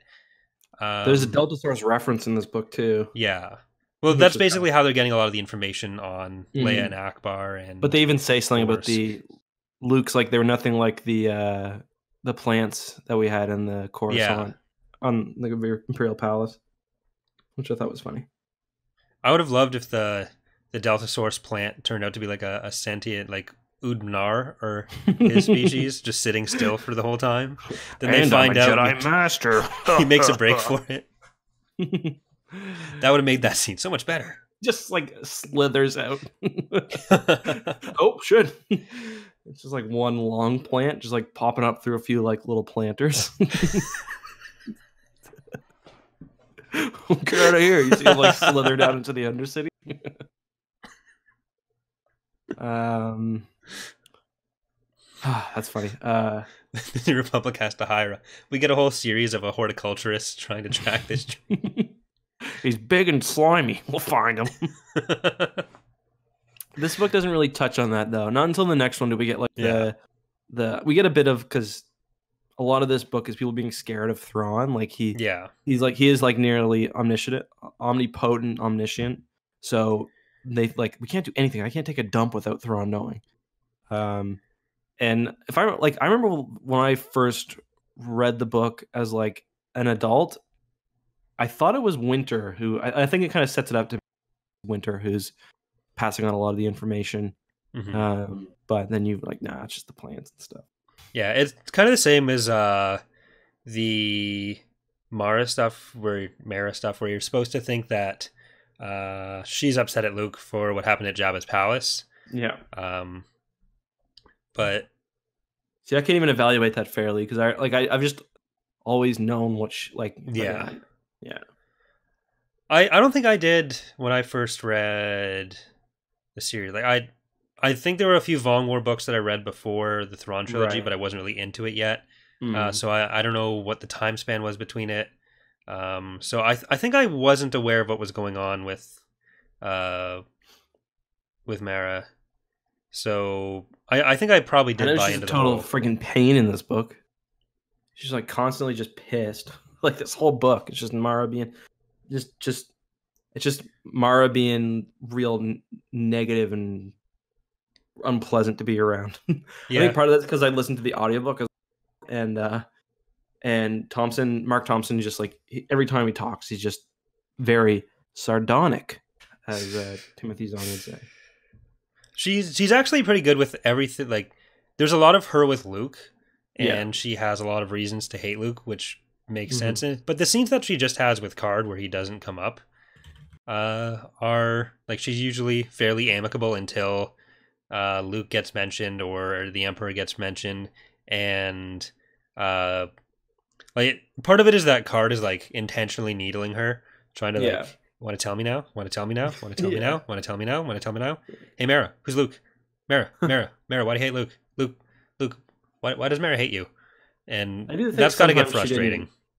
Yeah, but there's also times where like he says something and she's like, "That's stupid," and like she really doesn't respect the. uh Not that she doesn't res- she respects Card, but she's always like aggressively challenging him. I feel like, um but but that's, that's probably one of the things he likes about her. I imagine. But it also usually does have to do the challenging. Usually does have to do with uh, like the really aggressive challenging is more to do with the rebels. Mm-hmm. So anything to do with like where they're keeping Luke, on Lando, uh, Yeah. and that that's the kind of that's the stuff that we care about with the trilogy because that's the main plot. We don't really need to hear about how she's uh, handling other parts of the organization in less Yeah. relevant ways. So I never really had a problem with how she was handled in the series. Uh, I think the way she kind of warms up to Luke uh, is really good. I I do think part of why it works though is that she wasn't intended as a love interest for Luke. Right. Uh, That's one thing I was going to mention because, I mean, there is a bit of, and well, I'm sure we'll talk about this more by the time we finish, but there's a little, there's no romance between them, although there's a couple scenes, like I, I could see being a Mara Luke shipper after this. There's like the scene where Yeah. they're like hiding from the Empire and she's got like the blaster up to his neck and he's like, I could feel her breathing on my neck. And I was like, oh boy. Like, she's like, good thing you're in the, I can feel her breathing on my neck in a way that Gaeriel never did. good thing you're the little spoon if you know what i mean um but uh yeah and then han makes a han and luke basically have the same well han's like so you guys get up to anything in those woods there? He's like it's pretty shit. Um yeah, but the like Zahn didn't intend for them to get together, really, and I th- the fact that they he wasn't like he made some allusions to that or just jokes about it, but Mhm. that ends up making it work long term in a way that if it had been like set up like this is going to be Luke's eventual girlfriend slash wife, Yeah. that we probably would have ended up in maybe more of a gross Callista situation. But yeah because it would have had the weird bantam books trying to deal with it so we get luke and so we get mara and lando together yeah like we, we get enough Yeah. of progression in there that uh, that was fuck uh we get enough of progression in their relationship that it makes sense from where they're coming from Yeah. but uh we don't get those same strange leaps that we may have if it was set up as like this is where it's supposed to be going long term. So i Yeah, i really Luke did like Ga- how that was handled. Like yeah it's it's a mess. Luke's been hurt too many times by this point. Well i guess it's only really been Gaeriel and um Lumiya really. Or what other love interests has he had? Uh Lumiya Gaeriel um Shira Brie, well Lumiya. Yeah and the uh what oh, the name of his Zel- can't forget leia yeah there's that zeltron in uh in the old marvel Right. comics i can't remember her name Dani i think she's cute he missed out with her zeltron are best species But I think the only one that we're really missing up to this point is just Callista. Yeah. she's much later. But Well, and the what's her name? The one from uh oh the oh what's her name? I'm trying to remember the name of the of the character. Remember when Luke tries to go find his mother and he's he goes off with um oh what was her name again? oh, is is this Black Fleet Crisis? yeah, yeah. What's her name again? Um Does- because Luke after um in Fate of the Jedi after Mara's dead, he almost kind of gets back together with her in a way. I guess Teneniel too in a in a way.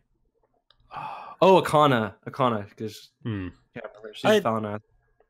Yeah, Teneniel Djo does get kind of yeah, just within the one book, but Yeah, but then like after Mara dies and Abeloth is inside Akanah's body, I'm pretty sure it's Akanah she takes over. Luke's like considering it. Like, only only if Abeloth is still controlling her though. Does he doesn't he have a love interest in Dark Empire as well? And it's Jay's brand. Like I like my girl I like my girls curvy. All curves. Uh, I I don't. I haven't looked at anything Dark Empire for a long time, any of the actual Alright. stuff, so I don't know. All right. All right. I can't remember. I thought there was like a Jedi, but isn't it? I can't remember. Kreia. Yeah, that's the one. uh, anyway, so what were, I forget what we are generally talking about other than this bullshit. You know, what, it's, it's actually kind of interesting. Well, I got an idea. Since we've been talking about like some of the past works, another interesting thing at this point, Luke is really angsty, um, and he's kind of like really nervous more than anything, anxious more than Yeah. angsty. I actually really About- liked his characterization in in the books because it's like he's still Luke, but he's also like kind of meek and isn't really Yeah. sure what he's going to be doing. hmm Yeah, and he's worried about training people because he's really worried about like making an next Vader. Yeah, and he's also out of universe. Jim, we yeah, know by sorry. by this point that uh, he's gotten every every person he's tried to train killed or Yeah. abandoned by them. I think it's a real Uh, goddamn shame we don't get a single reference to Deb Saboir in this, even though it was written before, whatever. no, but the book takes place after it, so they could have mentioned him. right, because I forgot all the literatures handed as a Yeah, if anything happens in universe after something else, then it's just naturally assumed that it was all known and planned and actually written Mhm. beforehand, so it could still be referenced. Yeah. Uh, there's actually a few things I, I wanted to talk about with uh, like X-wing that kind of play into this, and there there's a few instances with it, but they uh, Okay. the first one comes up, I'd say around here, but we're jumping around a bit anyways all right. but uh, when they're talking about protecting Leia, uh,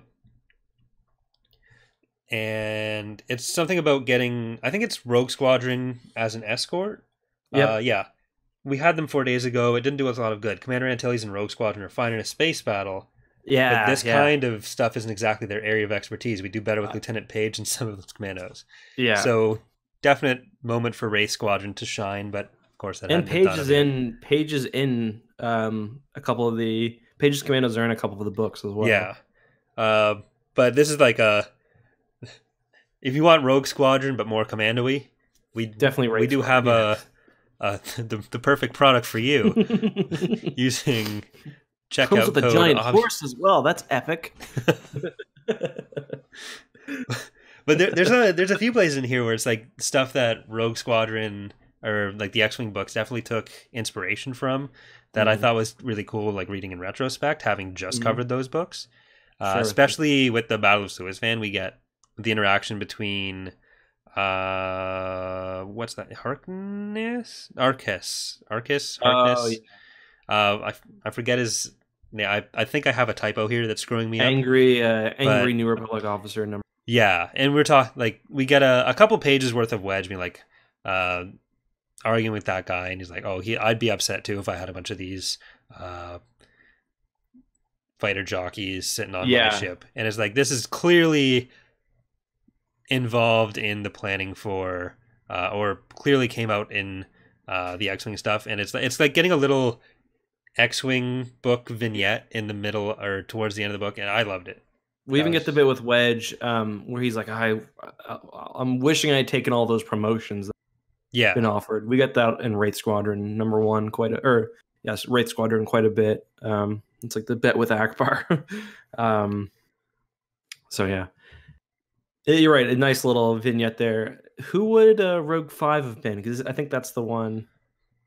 Um, I'm pretty sure the uh, the comics. I, I'm I'm not a thousand percent sure on this, but I think the comics, the Thrawn comics, came out significantly later. yeah, Um, and I think they they work with Rogue Squadron a bit to give them um, like more. Like like I I think they draw characters like within the lore, if that makes sense.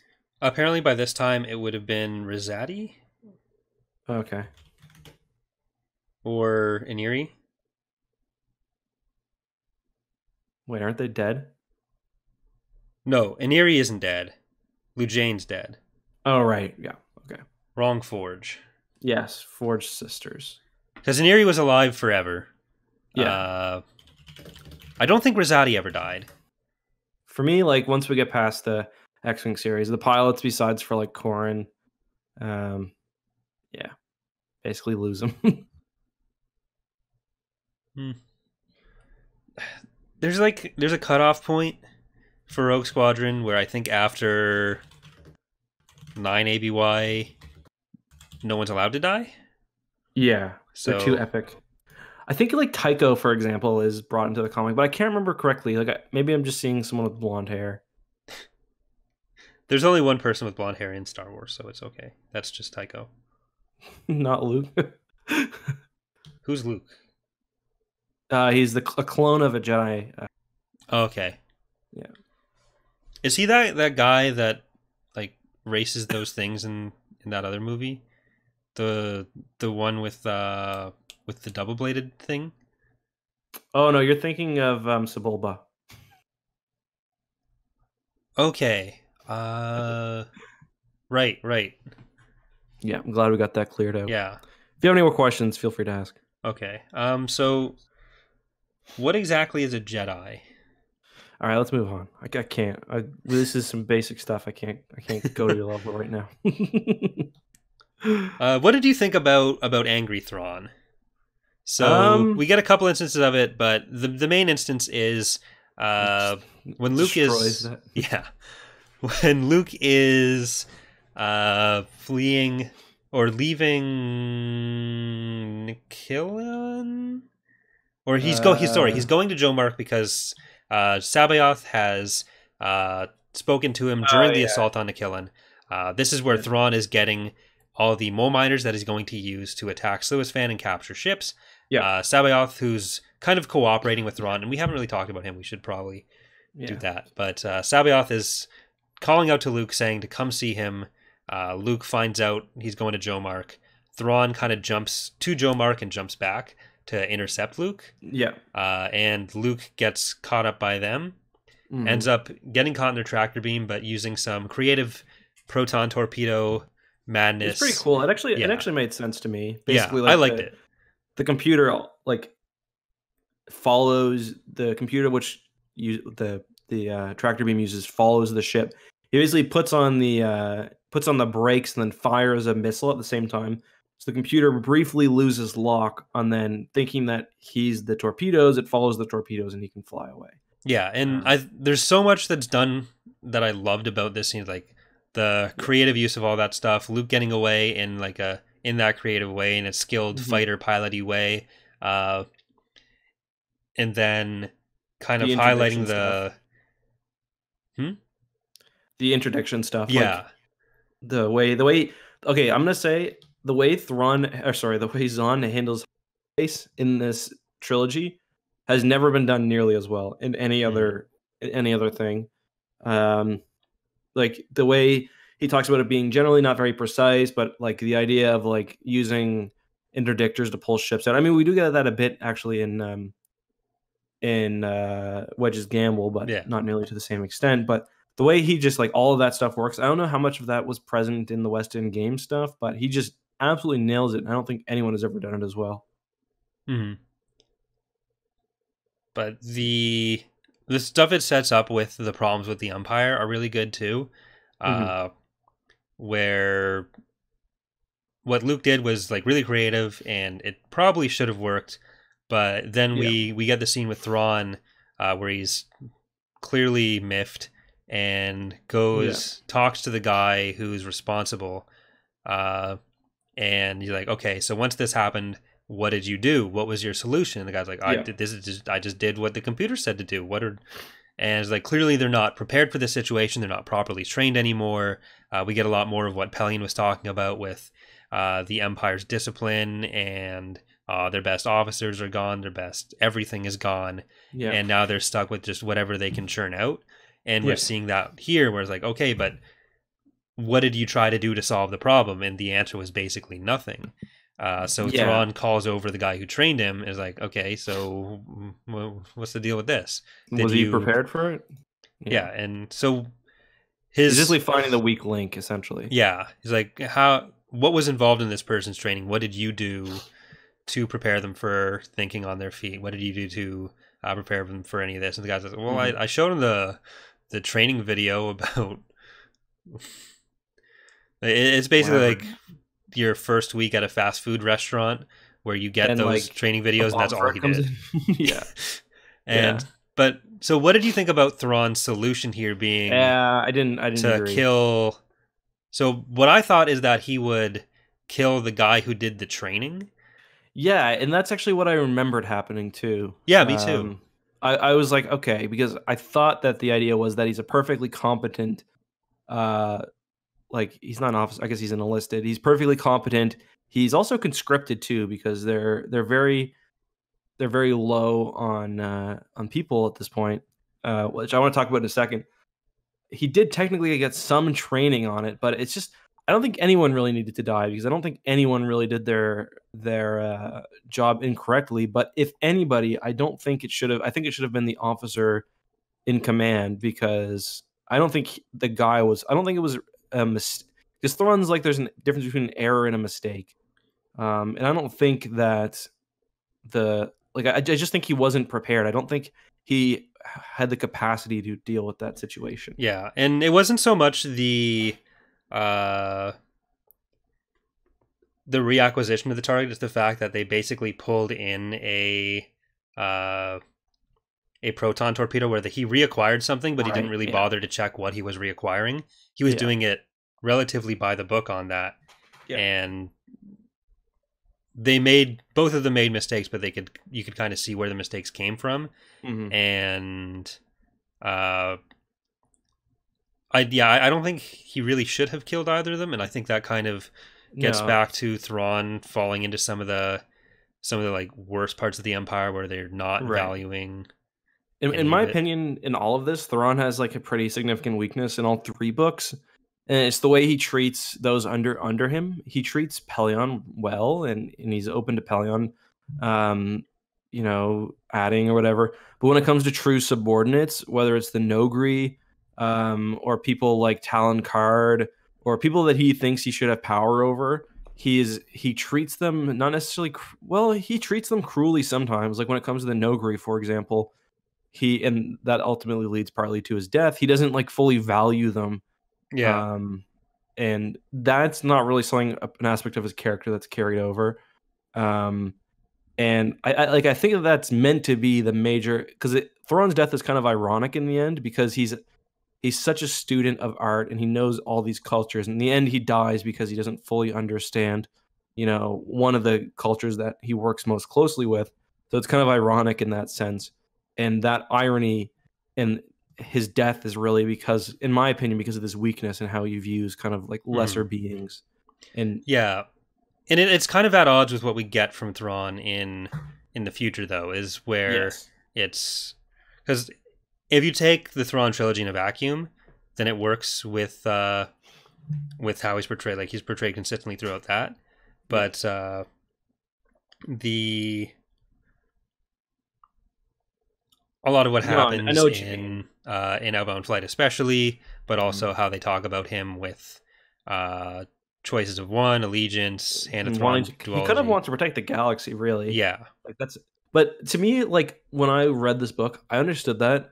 But I also kind of saw this as being the only time we really see Thrawn. Thrawn's fully tested. Thrawn is like going all out. Um he's like sure in the outbound flight he's got conflict and in other times he's got conflict. But at this point, it's like he needs to be perfect. You know what I mean? mhm. like he he's not preparing something like he's on the losing end he's got basically one chance to make it right so I kind of and this is definitely headcanon but i do kind of use that to explain why he's a bit more intense why he's like because really if with the emperor dead Thrawn has got nothing against the new republic um, other than the fact that he thinks the empire if, if we're using all of Thrawn's character he thinks the empire is a, a better uh, structure to protect the galaxy, basically. Um, Well, he he basically thought whatever the established power is is what I need to work with yeah, to beat the Vong, and I'm going to work with Palpatine to set that up, uh, even if Yeah. I think he can go to hell for most of the time. Mhm. But uh, one of the things that one of the reasons that it kind of sticks out to me is that uh, even Pellaeon kind of comments on Vader's murderousness as being uh, out of the norm and not a great Yes. thing. Yeah. Uh, and then we kind of see the same much more restrained, but still pretty bad. Yeah, like we see Thrawn putting forward those same things a couple times Mhm. that are clearly the more pernicious aspects of life in the Imperial fleet and the reasons why they're losing when Thrawn Mhm. is supposed to be this reversal of their fortunes. So I think even within that context, it would have been better if he just hadn't killed him, maybe. It's kind of interesting too because or fire him, the- maybe. Like, I don't know. Yeah, even He's the best version of conscript. Thrawn is is an authoritarian. Though, you know what I mean? Yeah. Like, Well, he's usually portrayed is- as a as a compassionate authoritarian. Like right. very much full of himself and very much has reasons to be full of himself and expect himself to be listened to Yeah. but also uh more like evil dumbledore than anything i'm I, I need to stop bringing out harry potter i'm sorry everyone I'm trying to think of like honestly he's almost like good palpatine in a way like because pe- people say that um palpatine like there's you know the everyone online actually palpatine is just making these death stars to fight the Yu Yuuzhan Vong when really that's like there's no basis for that in the lore and it's he it's was testing it on alderaan to fight their Yuuzhan. Vong, right. Um and like that's contradicted by the lore and there's not really any um it, it's addressed a few times. Palpatine was just evil. It, like in a way thrawn is almost like he perhaps thrawn's ideal government galaxy-wide government looks a lot like the empire but for better reasons i guess if that makes sense. Yeah it probably more fell empire than palpatine's empire. Mhm. right. With a Which is equal proportion of chiss in it. yeah. Yeah and, and even even the empire of the hand i mean even the chiss like like Yeah, he's definitely Jag- got a lot of the- and- yeah the I mean, shitty we'll, we'll talk about this more when we get to the swarm war but yeah no I i I agree so the characters kind of work but there's also some like it, it they're they're it's a it's a retcon Thrawn's new character is a bit of a retcon it, Yeah. it works well enough though Yeah, and we've got a couple questions about that from email, so we'll, we'll Mhm. and I'm sure that there's been some stuff coming up in the chat, and we'll uh, probably talk about that a bit later. But Yeah. uh, we should probably jump back and talk about the acquisition and use of our good friend Jorah C'baoth. Jorah C'baoth. One thing I like is that, well, I don't like it, but so for those who don't know, when, when someone's cloned under, I, I guess, only with these cloning methods, they pronounce their name differently. So Joris becomes Jorus, and Luke becomes Luke. Um, That's kind of- just from elsewhere. There's just an accent that they pick up in those Spaarti cylinders. Maybe it's because Spaarti is kind of like a weird word. Yeah. But it, it does fit in. It's basically playing off the original, uh, and I did a video about this. Uh, the original ideas of the Clone Wars as being a war between Mhm. the clones and Yeah. the Republic, and there's some stuff that kind We'll of get more of that goes later. into that. But Yeah. without getting too deep in there, it's We get more of that uh, in later books because they do talk a little bit, like they make direct references, Yeah. But- uh, like the cloners, and I remember the horror of the cloners. That's one quote, Yeah. right? and he's they're Zahn is basically trying to explain why that thing would have happened, why that war would have Mhm. happened. Yeah. Uh, She shouldn't have done. which he shouldn't have done, but it was also sort of in It's line with what everyone yeah. thought at the time. And yes, no one thought it would be. But it'd be the same as if George Lucas did make another sequel trilogy, Mm-hmm. and or even if the sequel trilogy we have now was kept in the Legends timeline, and clearly everything's different. Yeah. It's like, well, they should have known not to do the Yuuzhan Vong War because this is in the middle of the Yuuzhan Vong War. It's like, no, that's not their fault. yeah, no, that, that's fair. Um, so I, gue- I guess it's just like because it's not actually their name that changes; it's how they pronounce it. Because like when uh after they meet C'baoth for the first time, Thrawn to Pellaeon's basically like, "Did you hear how he said his name? He said Jorus with the telltale like I forget exactly what he says." But then later on, This clone is from um, Georgia. The original clearly was not. Did you hear that twang? Learn your linguistics. The real Joris C'baoth would never have said y'all. Come back, y'all. Come back now, y'all. Oh man, I slaughtered that. But then uh, later on, when Wedge is talking about C'baoth, he also says Joru rather than Joris. So Mhm. like, even though it's like there's rumored reappearance of Jedi Master Jorus C'baoth, but whatever. I guess it's not worth looking too deep into it. Yeah. Uh, um, but yeah, so this clone of Joris was and Thrawn not- knows the original Joris too. Yeah, he murdered the original. Joris, as Yeah. we find out. But uh, original Joris almost killed him, so he knew that the even the original was pretty fe- feisty. yeah, and there's the five day trip between Myrkr and Wayland right before here, which is, they're like right next to each other. Yeah, So- there's a lot of that that doesn't quite work. Also, it talks about at one point Star Destroyers moving at like cruising speed. It would take a, a, a day, and I'm like, what? But yeah, Yeah, and like all all this stuff with like striking deep into the heart of the New Republic, going for like the Mm. the Sluissi areas, and it's like Empire way up here, yeah, Sluis Van way over here. yeah. But uh, Way she goes. Yeah. But uh the he already has the I always want to call them the ysalamiri Vornskers, but Oh yeah, he had, he has the ysalamiri so he can block the force. Goes to the goes to Wayland with the information he got from Obroa-skai uh, to Mhm. get Mount Tantiss because he wants the cloning technology, which we don't know yet. He wants the cloaking technology as well, which we do know, yeah. and he wants to acquire the services of Joris. Mhm. Uh, and there was a previous garden guardian of Mount yeah. Tantiss. Does he know it's it's Joris there? Is there like do we know whether he knew who was actually? I think he or does he think- okay, he must. Um, Because it's either that or the previous guardian of the mountain was also force sensitive, and that's who Thrawn wanted. But Thrawn well, was like clearly knowing he needed the ysalamiri going here, yeah. and, and he, he seems to known. about Joris too is he relies heavily on the battle meditation, and we know from the outbound flight because all the Jedi on the outbound flight basically have like a ship-wide battle meditation. So he would have known that Jorus would have been capable of doing that, and he relies heavily on that throughout. Um, yeah. So I, I don't know. Like, do we even know the story of how C'baoth was cloned? No, No, uh, it's all kind of left Mercury until uh, until we get there. Okay, so they're saying in the chat that he didn't know it was Jorah specifically, but uh, that's probably correct. I yeah, I, I don't. That's I don't think it's like super Star Wars with any of that, but 374 mentioned it on the back page. it's he just he wanted to go to the Dark Jedi discount store and got who he We could. got, we got to talk about that, by the way. Uh, the Dark Jedi discount store. Palpatine took blood samples from everyone on the outbound flight. Evan says. Interesting. Okay. No, So I guess that's we know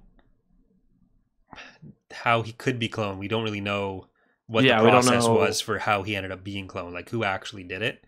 Because I don't think it was Palpatine. There Palpatine's also does even- seem to be some, Yeah. or it, it was, it was probably Palpatine, but we don't know it was Palpatine. I don't think it's ever specifically covered. But Hmm. either way, Uh, um, he what do you convinces think- Joris to. Sorry, go ahead. let's say that.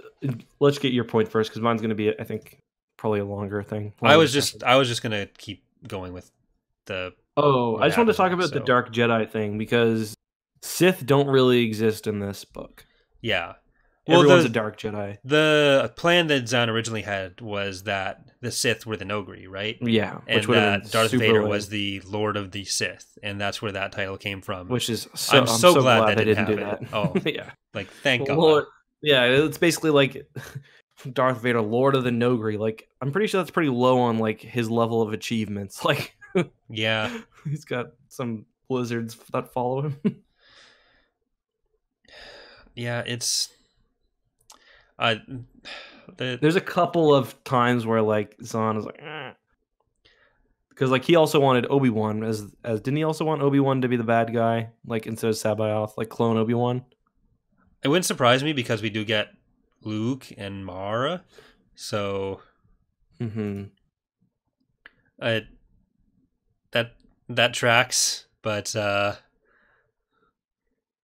yeah, Wait, there's a Mara. I think I thought there was.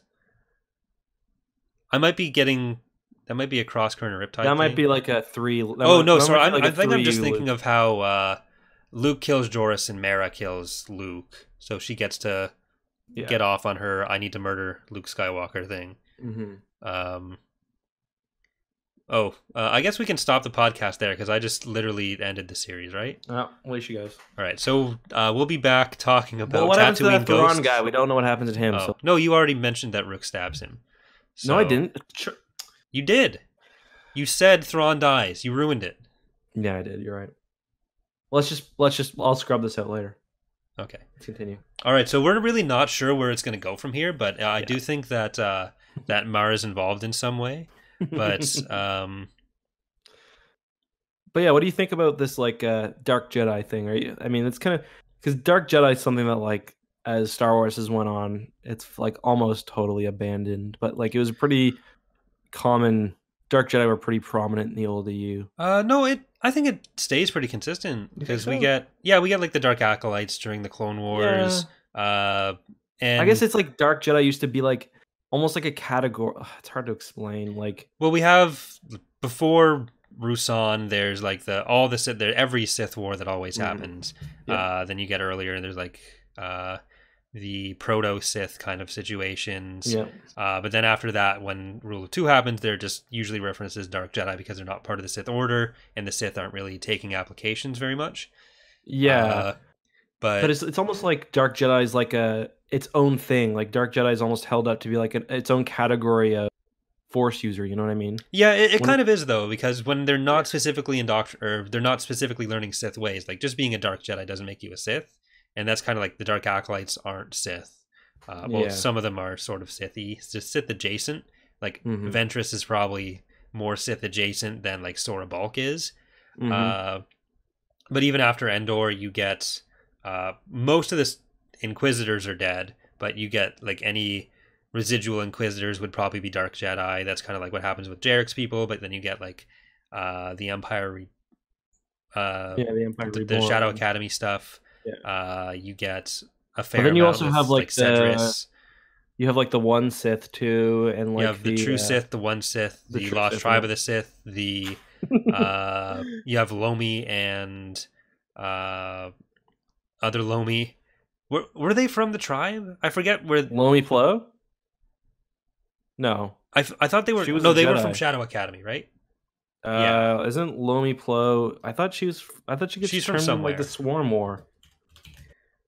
She come. That's where she comes up most. But she was on uh, the mission to Myrkr, Oh and yeah, they were sent right. like her Yeah, yeah, yeah. and I can never remember the other one's name, but they were sent to sort of do the same thing, and they were working with them. Yeah. Uh, Pelk, thank you. But Oh, yeah. that that sounds right. But there there's little sects of dark Jedi that come up all the time and like the idea of like Yoda's dark Jedi encounter, you have clone Mhm. Joris.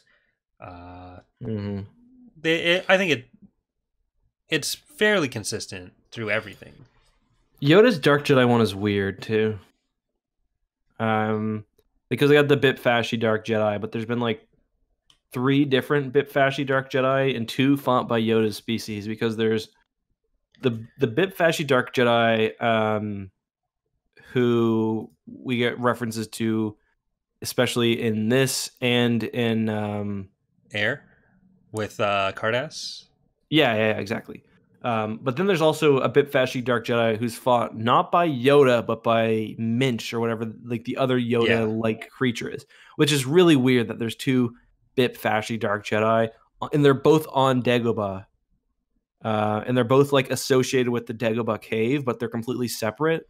Yeah. Um, because it's, it's really weird.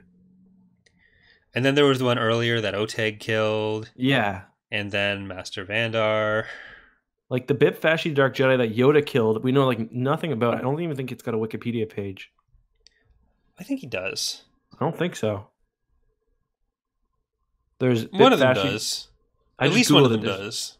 There's Bpfasshi Dark Jedi Leader. That's the one that um, that's the one Minch kills in the comics. Then there's unidentified Bpfasshi Dark Jedi. Uh, that's the one from uh, Star Wars Tales.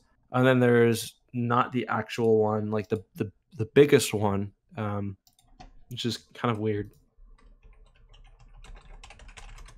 Oh, I just found when I googled that. Snoke is the Bpfasshi Dark Jedi Minch found fought at the Dark Cave. Snoke. That was in uh, someone's Reddit post on Star Wars speculation. Okay, so apparently I need to clarify the Vandar and Oteg thing was a joke. Mm. I'm. oh boy. Um. But People don't know they're Jedi Masters, I guess. I don't like Vandar. He's like, I actually did a a model of him once for uh a KOTOR era mod for Empire at War. So mhm. I have I have a special place in my heart for Master Vandar. yeah, fair enough. I liked I liked if he went dark side, you could kill. Well, he died in the battle. Yeah. I I'm gonna be honest, I enjoyed killing every Jedi Master in KOTOR 2. they were all pretty. They're awful. Except for Zez-Kai Ell. I think I remember liking Zez-Kai Ell, but I haven't played it in a while, so I may be uh I may be misremembering him.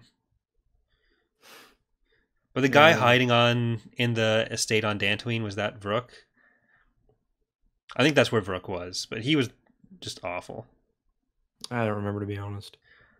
But uh yeah, so uh Thrawn is able to coerce uh, C'baoth into cooperating with him, partially through removal of powers and partially by promising uh, Hmm. to give him Luke and Leia as students because he's looking And to dominate and them babies, and them Jedi babies. twins. This is amazing. he even says that he's it's like Jedi twins, and he breathed deeply. it's like, ugh, I like this guy. Breathing intensify. But uh, so that that's what he thinks is true power. Thrawn can have his toys, and he's willing to cooperate as long as he eventually gets to to play with his uh, his little Jedi babies. He's mostly concerned with Leia and the Jedi babies. Uh, Thrawn is mostly planning that he's gonna like kill off Luke, Mhm. but maybe he'll give him to to C'baoth. Maybe he won't. But Yeah. Um, what do you think of the uh, ysalamiri thing, pushing away the Force? Uh, I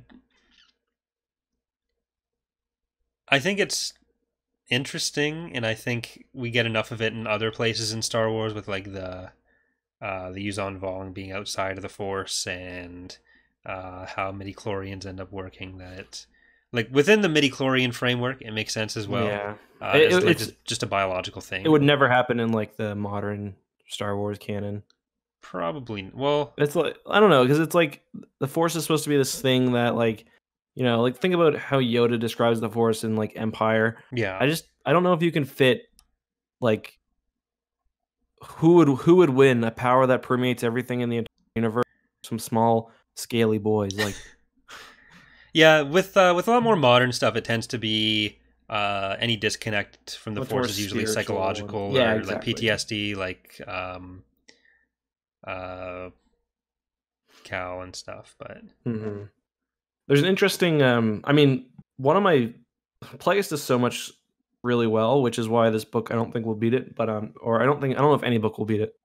Um, but it talks about like how I did a video on this. It talks about like how the Hutts, for example, they or not, not necessarily the Hutts, but lots of species develop a sort of uh like like they evolve and their midi chlorians change basically. So Mhm. species that are under that are preyed upon by beings that use the force or that you know the midi chlorians will adapt i guess um so so there'd be there's basically like three or four forces, and which force you're using depends on what you're doing. yeah well there always is kind of like the discussion of like the cosmic force the living force but Hmm. Uh,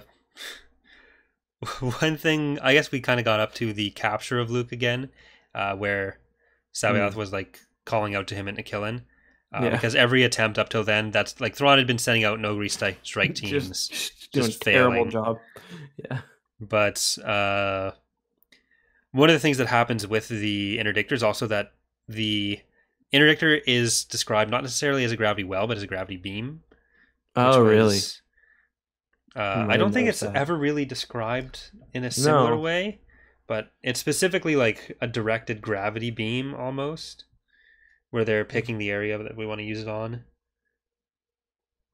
yeah yeah no But- that's i forgot about that The interdictor was now rotating in the wrong direction. Its gravity beam sweeping across Luke's previous course instead of tracking. Yeah, because I was kind of wondering. That, that makes sense. I guess I didn't really pick up on that because I was wondering how the direction of the interdictor should matter because presumably, um, it would just be.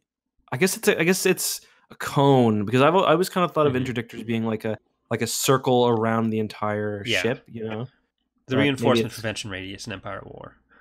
Yeah, maybe it's like a cone. I guess. Yeah, I think that's what Zahn was going for. And But I, I, I think later things have kind of made it yeah, more of a like. it kind Yeah. of varies. Yeah. But there's only like three in the galaxy, as we learned from X Wing, so Yeah. it's hard to really know. Yeah, that's true. But yeah, I- Uh, guess the story people are saying goes with the cone. See, I didn't even pick up on that because I was just like uh, my assumptions. I was just like, mm-hmm. oh, one thing I wanted to uh, to mention. I just randomly thought about this. It's interesting how these books change with uh, time. In this book, people have like a communicator on them. Usually, like Han's got his, uh, like just this thing on him, like his, His um, pager. comm link on him. It's basically like a pager. Later on, like as cell phones rose to prominence in the real world, if you read like uh new not new Jedi, or if you read like Fate of the Jedi or Legacy of the Force, they always have their data pads, which are essentially cell phones. They've got like games and stuff on one. them. Um, yeah, I got one too. So it's just it's just kind of funny. Oh, I get it. Your name. It's just kind of funny how like uh There's just so much disappointment in your voice when you said that. yeah. It's just interesting how like people are using cell phones in real life. We'll give the characters cell phones. People Yeah. are using pagers. They got pagers. there was one point in uh, Fate of the Jedi where I think Luke was asking, or Ben was asking Vestara for her WhatsApp. yeah, I remember that. He was asking her for her Snapchat. no, there's one point literally where like Ben is waiting like in a cupboard or whatever. He's hiding from something, and he loads games on his uh on his on his his data pad. yeah. It's like I've got my Hollow games. Luke probably would have liked that when he was just sitting in, in space after this. Damn, I'm so bored. Yeah, yeah. That's like Luke like willingly leaves the Falcon and fly back to Coruscant. Well, yeah, fly back to Coruscant on his X-wing. I'm like, what the hell is wrong with you? Why would you ever? Well, he goes, he does uh, trances for most of his traveling. the So trancing, but I'd rather still go to a trance on a bed. Like, yeah, well, that would be it's, if he was on the Millennium Falcon, he would have been expected to stay awake the whole Yeah, time. It's like, okay, well, Han and Lando, this has been fun, but fuck you Han's like, "Hey, come on, check out this YouTube video," and Luke's like, "It's ten minutes long." He goes over there. Like, "Oh my god." see you guys later. Luke's at his Jedi trance, wakes up with a bunch of space sticks on his face, like like marked like in marker. Then he, he does abandon R2 for a while because R2 doesn't shut down, but Yeah. But he, he gets Um, picked up by Karrde because Mara tells him where to go. Yeah. So we get her force affinity a little bit. We also get a weird part early on when they put him in the shed. And I guess I kind of figured it out later, but she's like, it would even be believable that someone who had never handled a lightsaber could kill Luke. And I was like, what? What do you mean never handled a lightsaber? Like, but then I was like, oh, she's just kind of thinking um, from an outsider's perspective. Yeah. She hasn't seen the cover of Choices of One yet. I think that's Choices of One. Yeah. Yeah, where she's in front of the Star Destroyer. Yeah, holding her, Yeah. very Super- clearly holding her lightsaber. super goofy image but um but then yeah like, like later when she actually uses the lightsaber she's perfectly good with it Yeah. The- um she's very. She's just like sitting there while he's knocked out too, and you're, yeah you're not sure how long she's been sitting there. But uh, well, I guess he ends up. Luke gets picked up by Karrde. Karrde's like, "We're gonna decide what we're gonna do with you. Uh, Yeah. We might hand you over to the Empire. Maybe we won't. yeah Uh, Mara probably wants to kill you, so be careful of her. But while he's doing that, he's got the ysalamiri around, so Luke can't sense it, and someone Yeah. just walks up behind him and smacks him with a candlestick, is what I pictured. But he wakes up. He's like, "Oh, they're not going to expect how fast I heal." It's like three days later already. I, I love sitting Karrde, right there. though. Karrde's like the best Oh. character. Karrde is great, except for that picture where it's is it Michael Stackpole, Timothy Zahn, and yeah, Shannon McRandle as Yeah. Talon, Corran, and Yeah. Mara, like, yeah. Shannon as Mara is like what everyone all like that's her. Uh, so Yeah. that works. Uh, Yeah. Zahn actually does work as Karrde, but then you get uh, Michael Stackpole as Corran. it's like no. like this isn't a dude that's force running and force jumping. yeah. Man, he's gonna listen to this podcast. He's gonna be so fucking pissed. It's not an insult. He just doesn't look like Corran. yeah, no, it's true. Um, but ah, I really like I really like their base on. Also, if you uh, have you ever listened to the audiobooks? Uh, for these, no. Yeah, you should because, th- well, they're really good. But um, they got like full music, full sound effects.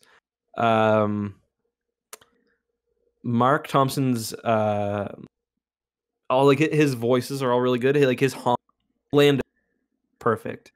Um, his Han is good. His Luke is whiny but good. His Mara is just like she's just totally nasty the whole time. Uh, and his Talon Karrde is just like perfect. It's very like it's like Hmm. accented, but I don't know what accent it is supposed to be. Uh, but he's like very smooth talking. Um, it's almost like Italian, maybe. I don't know, but it's I really can good. see that.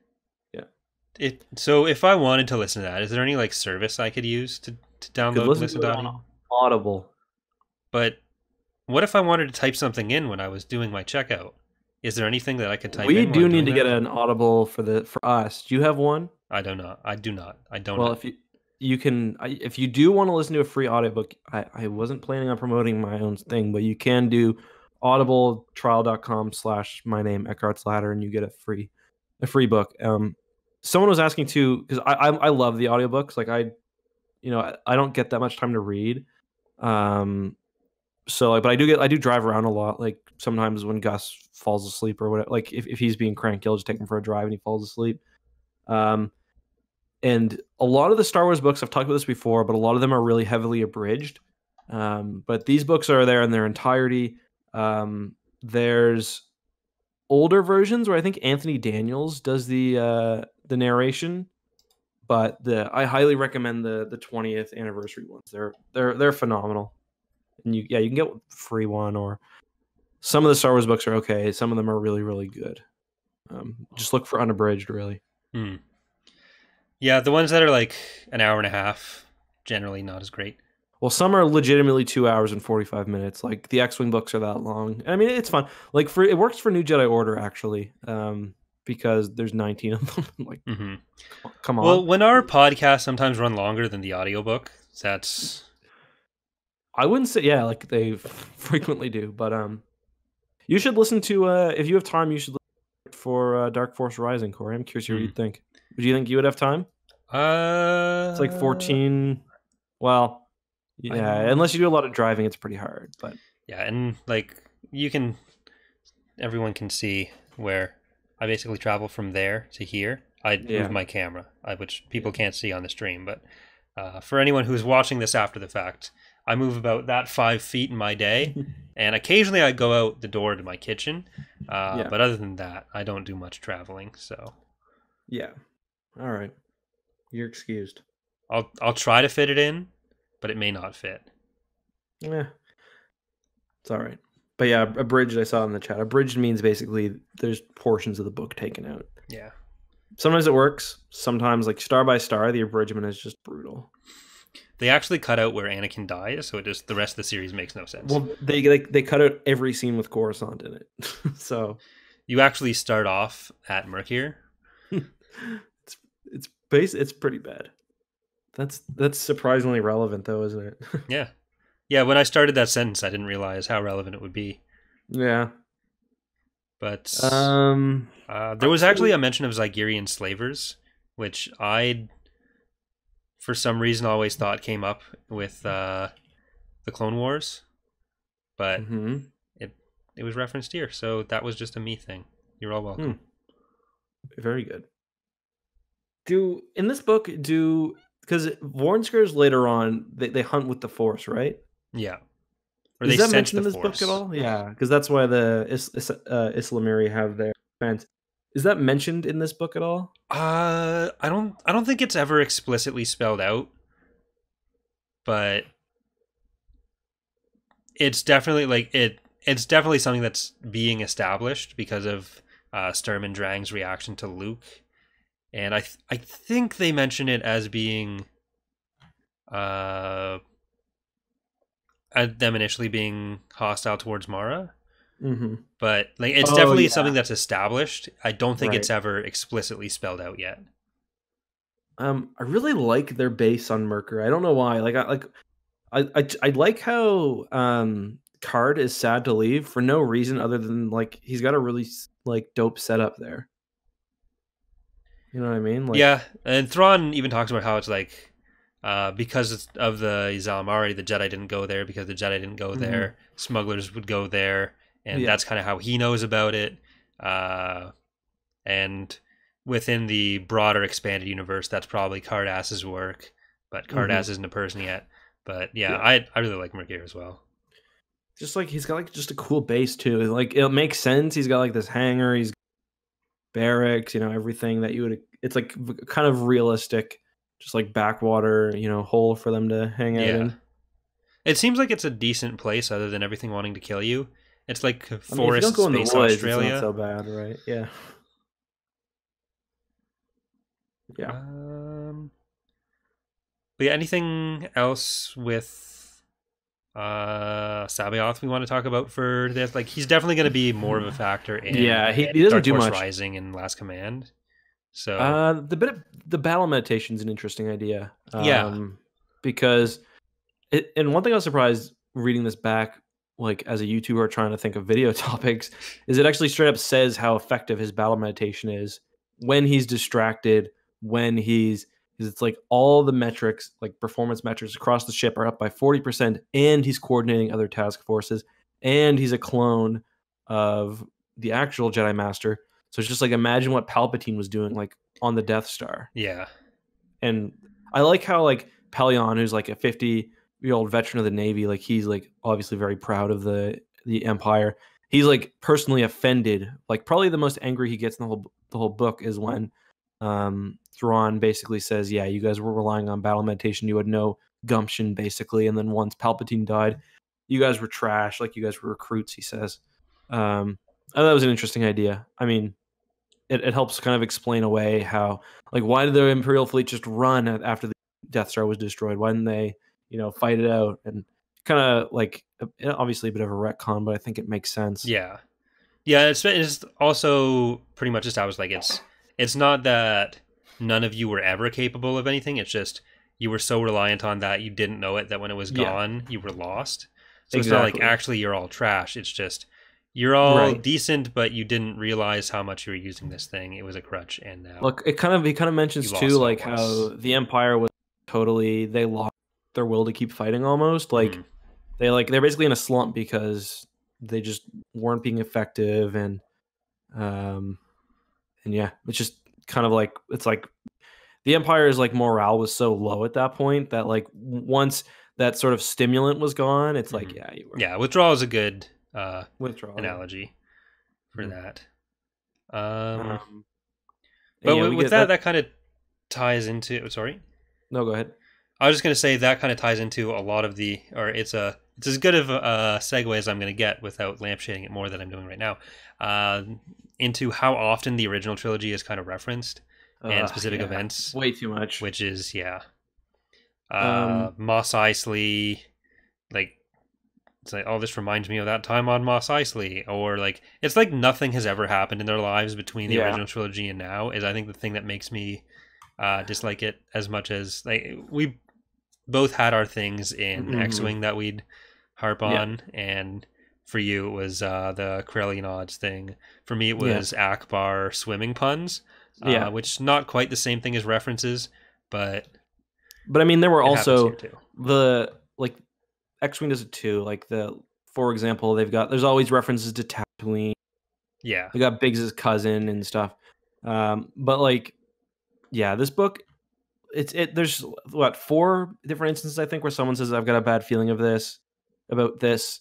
Um, There's like scenes where it's like, but I will say, I I kind of got like I was thinking about this thing I was listening to it. Um, it it's not so bad as like episode seven. Not saying episode seven is a bad movie or anything, but episode seven is basically a remaster. It's it's it's a soft remake of A New Hope. I think everyone Yeah. knows that. Um, They've like The- JJ has even said like they Yeah. wanted to start they safe. wa- had to get people then- back in, which okay, that's that's fine. I'm not criticizing that necessarily. This doesn't do that because the plot really isn't similar to any Star Mhm. Wars movie. But what it does do is kind of take those little those little aspects of the movie and kind of takes them as a way to ground it to the rest of the series instead. Yeah, Um, like for example, the scene where um, Luke is talking about how Mara wants to kill him to Han. That really reminded me of um, a couple of scenes. First, when they're both leaving the Death Star and talking about like, "Oh, have you ever met a girl like that?" But also um, at the end of Return of the Jedi, when um, or not the end, like the midpoint of Return of the Jedi, when Luke's talking to Leia and he's like, "Just trust me" or whatever, or like, you know, like I like I, I can't explain it. He's like, I can't explain to Han why she wants to kill me. yeah. I mean, And I think for what it's doing, uh, a lot of those work, but the yeah, parts that I don't like are the ones where it's like where they're like outright referencing what happened before. Because Mhm. to a certain extent, I forgive it more with uh, with the Thrawn trilogy than with other books because it's like this is yes, kind of them starting off that universe is like we do need to get people in but the way he Mhm. handles the rest of the universe is so good that it's Yes. unnecessary for him to do this stuff which is kind of what makes it stick out it's kind of like having an essay with like subheadings when the topic sentences are already there and Mm-hmm. yeah. It's like the job. train. Like Tatooine's supposed to be a isolated planet. Every time they go to the, every time they go, there betrays like Luke's lines in A New Hope. You know what I mean? yeah Um, it's not as bad as in um, Darksaber. I think when they go back to Hoth and Luke kills that Wampa that attacked him. Do you remember that he he kills that Wampa that he cuts off his arm. yeah Like he cuts off that, that Wampa's arm, then he goes back and finishes the job. luke's just not a good person actually a thing that happens. Like like that's as that's how bad it gets on some occasions. yeah Uh, I think that's in Darksaber or I can't remember, but either way, like yeah, th- this book like it it it borrows a lot mostly in how the characters interact with each other too. Like when sh when Leia says, "I'm not a committee," that's like I rolled my eyes at that so hard. Like he doesn't need to do that. Like especially where he pretty much nails the characters as well. Um, Yeah. Yeah. Like if it was a weaker book and Yes. that was the only stuff that I felt like was tying it into Star Wars, then eh. but here it's just everything pretty much everything feels- else is done so well. Yeah. It's just those stick out. It's the same kind of issue I have with the uh, Deus Ex Thrawn issues, where it's like there's so much good around it that it's Mhm. unnecessary, and then it gets added in, and it becomes like it detracts from the overall effect of everything. I'm to play a bit of devil's advocate though. part of the reason why it feels so much like Star Wars is perhaps because all the expanded universe is basically based off of it. You know what I mean? Yeah, but I I'm specifically referring to how it feels like the original trilogy when I say that though. I'm not Oh, talking okay, about how it fits within uh, everything fair else because uh, the way it does the characters, the way it does the uh, the pacing, uh, everything feels like original trilogy. And Mm-hmm. I, I think we were talking about how courtship had so far felt like the most like the original trilogy Yeah. uh, of everything we've read, and I think this. Uh, Yeah. This the Thrawn trilogy edges it out a little bit. Courtship is probably in the same range as it, but Yeah. that's basically what I'm talking about here. Where, uh, and I think that's actually something that Courtship did better. Is it kept that feel, but it wasn't quite so. Uh, this time when Luke was Mhm. holding his lightsaber as it opened with a snap hiss, which was another thing I forgot that happens like 80 times in the books. yes. Uh, courtship didn't necessarily rely on that stuff as much, Mm-hmm. and I think it was better for not having done that. And I think Right. Thrawn trilogy could have done that as well, and it would Mhm. have been slightly better. But But again, because of like there wasn't a Star Wars expanded universe, you gotta like we both I think yeah, I understand like, why he very did it. very hard situation that he yeah. was in. Like I don't think I don't think even in his best like I- like I don't I don't think best case scenario for Timothy Zahn before this would have seen this book be so successful. Like I, I'm not. Uh, it's kind of the same thing with the Thrawn stuff I was talking about earlier, where it's like uh, I'm sort of using his future work and like showing it as a way that he's Yes. improved. Uh, and like I I understand why he did it, but at the same time, I especially when we're going to be ranking it up against other stuff. Yeah. Uh, like with that historical perspective, we can Like- yeah we can we can see why these choices were made, and I can understand and accept why those choices were made at the time. But Mhm. I'm also You got to be reading it critical if you're looking at myself, fairly. yeah. yeah. I'm I'm reading it as someone who is already familiar with all this stuff and can judge it Mhm. in uh, where it and like where it sits now. Uh, Yeah. And I'm I'm not necessarily like I'm not saying it takes it makes me not enjoy the book. It's just these are the things that I think changed in how he wrote for the better. hmm Yeah, no, I mean, if you you gotta look at it, you gotta look at it fairly. You can recognize, you can excuse it, but if you're being objectively, if you're being objective, you still gotta. Um, no, that makes total sense. But it is it is remarkable how different of a villain Timothy Zahn decided to go with, um, because at the end of the day, C'baoth is not the ultimate bad guy in this. It is Thrawn. Mhm. Uh, it's the Thrawn trilogy. It's not the C'baoth trilogy.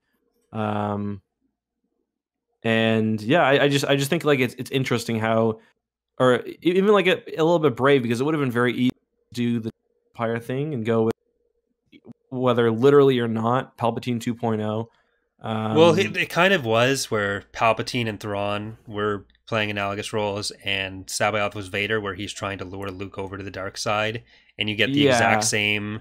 Uh, but but Thrawn is fundamentally different than yeah, Palpatine. but it's the same sort of. He's going for the same sort of uh, power dynamic of here's the powerful wizard guy who controls everything, uh, or powerful wizard guy who's trying to bring over Luke to be another dark powerful wizard. And then you Mhm. have the other guy who's in charge of everything, who's in this case not a powerful wizard, but Palpatine's powerful wizardness didn't really play as much into yeah, uh, the original fair. trilogy. That, that that is fair. Um, but the original trilogy also never really gives us like, like it, it, would have been easy to structure it in the same way too, because the original trilogy doesn't Mhm. give us the imperial perspective. Yeah, Um, like I'm not saying it's the exact same. it's just no, there. It's still I trying get to what you're saying. recreate some of those power dynamics mhm, uh, no, I at the core of it. hmm No, that makes sense to me. Um, but it could have it could have been so much worse. Um, even Dark Empire, you know, Dark Empire relies on the same bad guy, hmm but it's a it's the structure of that story is like in that that relies on the bad guy and it also does returns things to the um, rebels versus empire thing because the new republic basically the rebels in that book uh, they even call themselves the rebellion but um that book like fundamentally um or sorry that comic like is also fundamentally different than the like original Yeah. trilogy just how it's structured although there is they, he does meet like a yoda like character and stuff but Yeah. um Yeah. Um. So I guess uh that kind of just leaves us with Leia's time with the Wookiees, Hmm. Luke's escape, and Mhm. Sluis Van. Let's start with the Van. Wookiees. Um, I love how Kashyyyk is portrayed in this. It's so cool. Like it's so fantastic and interesting, and nothing I don't think has ever done it justice. Yeah. Like it describes like the the tallest trees are like a kilometer taller than like the regular trees. You know, like like it's like it's not just like Kashyyyk and Revenge of the Sith is the most disappointing shit of all time. It's like they're fighting on like a hill next to the water. Like Kashyyyk's supposed to be like, you know, it's it's it's it's, it's basically a high. It's like a like a fantasy city. You know what I mean? Like Mhm. like the Wookiees have like these basic like they have entire streets on like branches and stuff, and they have um like it- it's just it's just crazy all what, what he sets up, and he does such a cool job. KOTOR does an okay job, but Kashyyyk is basically like yeah, someone ex- Da- Daigo said exactly what I was about to say. It's tree Coruscant. It's got like the Undercity that probably no one's ever been to the very bottom, except it's the Shadowlands, and like it's yeah. like basically say think- shit gets more evil as you go down. I think KOTOR did about the best it could be done relative to the technological limitations of making a video game at that point. Because it's it's small areas, but the small areas we got are basically what you'd expect from it. That's Uh, true. But let's not sleep on the fact that Leia is going here for protection, and the Yes. first thing she wants to do is shoot a Wookiee. Why does she want to? Sh- oh, Salporo when he's wrestling with Yeah, Chewie. Yeah. let's let's not make let's not make a scene. Let's not make a scene. Oh, it's like it doesn't. It just seems like they're hugging too, and she's like, "Time to execute this mother."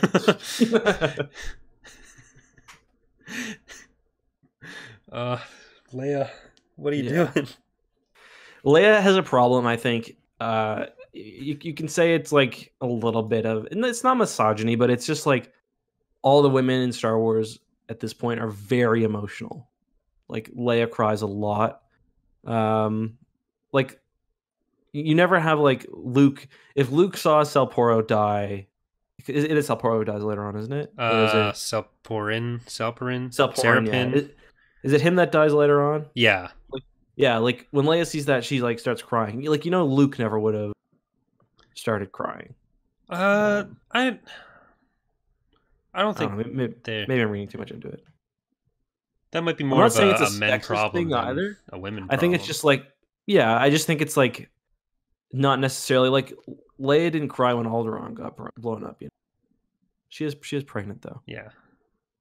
Um, Uh, but yeah, I don't know. She's like she's very.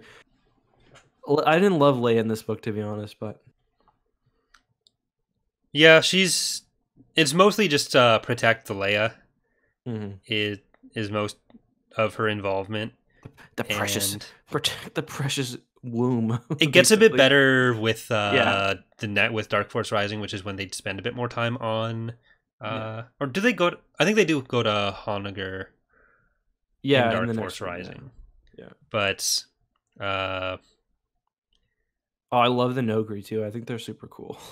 I love the Lady Vader. yeah, when Han comes, they the Lady Vader, and he's just like, "What the hell?" there's going to be a lot to unpack with that. I think. Yes. Probably when we get to uh, Last Command, we'll. It's probably when we're going to speak more in depth about it. But uh, At one point, um, they mentioned that um, um, it's is it Khabarakh? I forget. He's the one that yeah. they yeah. He they uh, it's like he had hair over his eyes. I'm like, where the hell does a Noghri get hair from? Like, I think it's just really long eyelash or eyebrows, yeah, maybe, just like curtains from his eyebrow. yeah. The the Nogri bodyguard, like Khabarakh, becomes one of her first. Yeah, Uh, it's and Khabarakh. Who's the other one? And um, Well, it's Ah, and Meewalh for a while. Cakhmaim and Meewalh. Yeah, And I think they're my favorite. I think uh, there's one that lasts a really long time, but the rest of them they they're just red shirts in Star I'm Trek. sure It's like Cakhmaim and Meewalh last for quite a while. uh, they last for a few books, but their successor, there's it might actually be Khabarakh that I'm thinking about, but one ends up with like three or four partners, and they Mhm. just keep getting shot. Um, yeah, no, I, I know what you mean. Uh, the, the Noghri was one of my favorite things Bantam because even like um, even like I, I guess they do go into NJO and maybe a little bit further, but um, oh, I think Jacen kills Cakhmaim and Meewalh like when he fires on the Falcon. Remember that? Like, but uh, Yeah. I did like how just like always there's like no Noghri with them. Like like it's like you just kind of love them because they're so cool and like they're like they just are so loyal. They're, they're like small Wookiees basically. Yeah. Um, and they're always like with the kids or often it's like when, whenever I think of them, they're like in the gunners of the, the gunners of the Falcon for um, a lot of it. And I remember one of them is killed in like Vector Prime, I think, or at least really early in the Vong War yeah. and that's basically like to show that because the Vong aren't to trifle with, which is kind of like a. Uh, isn't it? Well, they it, also like, dropped the wharf- moon on Chewie, so Yeah, isn't that called like the Worf? Like because Worf is always killed um to like show like oh like this like this guy is badass because Worf in Star Trek is like like such a good fighter and everything, and then how he loses every fight. yeah, but he's supposed to be so he's supposed to be so tough. Yeah. Worf affects someone is uh is uh calling it because yeah Worf's supposed to be a badass so when someone comes and beats him up it's basically like proof that like oh this person's really badass it's kind of like they do the same with um the Noghri in uh, Yeah. Vector Prime um I think it's Vector Prime I, I don't remember the exact book but early on in the war hmm and of course the the Chewy thing which which was a big deal or the, Uh, Vegeta yeah Vegeta's another really good example or of that yeah So with Leia, she basically gets there. She sees an ogre like immediately, and then eh, whatever, you can stay here. Mhm. Uh, Yeah. gets uh, Salporin killed, but Yep. Not really much. Which is like Chewie's best friend too. Yeah, in that attack, they capture Khabarakh, Yeah. and really anything else that happens with that plot, we're probably going to talk about more with Yeah. DFR and uh, Oh, we got acronyms TLC now. Or initialisms. here on TT with C and J. Very nice. That sounds very Um, clean and official. Um, but yeah, the, the Noghri are cool. Um, they've got like it's it's pretty cool how how do you do you think that their their history gets a little messed up with the timelines because Yeah. it's supposed to be a rebut like with the ships and stuff, but it's not a big deal. It it honestly it uh It's pre Clone Wars that it ends up working Being- out to, but yeah that's more of a timeline, the years being messed up issue than Yes. But not a big deal. Um we haven't really even gotten much of Rook this uh this book. Like No. I guess one of the first scenes we uh we we have Rukh uh kind of scaring Pellaeon, which is pretty funny. It's basically uh, Melvar and Zsinj, but Rukh and Yeah. Pellaeon. Basically, yeah. Can you imagine if Zin or sorry, if uh, Thrawn was completely normal? Like exact same as he was now, but just really fat. like, like I wish I got to hear the word girth more in the Thrawn trilogy. is What I'm saying. As Luke's lightsaber ignited with a snap hiss, he looks sardonically down at Thrawn's girth. I've got sardonically at his girth. That's interesting. I, I've actually been collecting a whole list of words that uh, there's there's like f- probably six words that Zahn says all the time. Some of them don't pop up as much in this book, but I just remember. Uh, let me just. I, I had a, I had a document with this. Okay, admonished. Lots of people are admonished. and Um, get Han- looked at admonishingly. Yes. Han gives a lot of injured looks, and other people give injured looks as well. Um, Luke soothes R2, and lots of characters say things. Uh, lots of characters soothe other characters. Sardonically, it's there. It says a lot. Um, and the other is warbled, but we didn't. We don't really get that in this book. I think warbled might be a later Timothy Zahn thing. Yeah, it, I think it depends on the proportion of R2 we get. Yeah, I'm just gonna Google Timothy Zahn sardonically and see what comes up. Timothy Zahn is not worth. Anyone noticed how often Timothy Zahn has his characters swear under their breath? That's true. Um, This is just comments on this Reddit on this Reddit post from five years ago. I love how every other line is said sardonically. um, yeah. Um, grimace. Oh, there's lots of grimaces. Um, and funnily enough, he's actually referencing the McDonald's mascot character. just really surprising. he was part of Karrde Smuggler Organization. Oh, here's one: the familiar snap hiss of a lightsaber. Lip twisted. Um, yeah, there's like, uh, I, am gonna open my ebook and see how many times it, the word sardonically appears. Just one second. Okay. We're we're just playfully making fun of uh, Zahn here because everyone's got their own writing style. So, but uh, shall we move on? Uh, yeah, I think we've just got the Great Escape and Sluis Van left. Okay. Do you, oh, do you want to talk anymore? Is there anything about Kashyyyk you wanted to mention? What did you What did you think of the? Because I talked a lot about my thoughts. What about you? Uh, no, I I basically just agreed with what you said and think okay. Kotor did it well. I don't have much else to add other than what you said there. Mm-hmm. Um, yeah, I like the Wookiees are pretty cool. Oh, the audio. What's the name of the uh like the Wookiee with the lisp? Basically, um, uh, raw isn't it Rawruk or something? Um, oh man, the uh the audiobook is almost unlistenable because of how uh, how how the narrator does him. He growls for half of it, and it's just, mm. uh, yeah, it's pretty it's pretty special.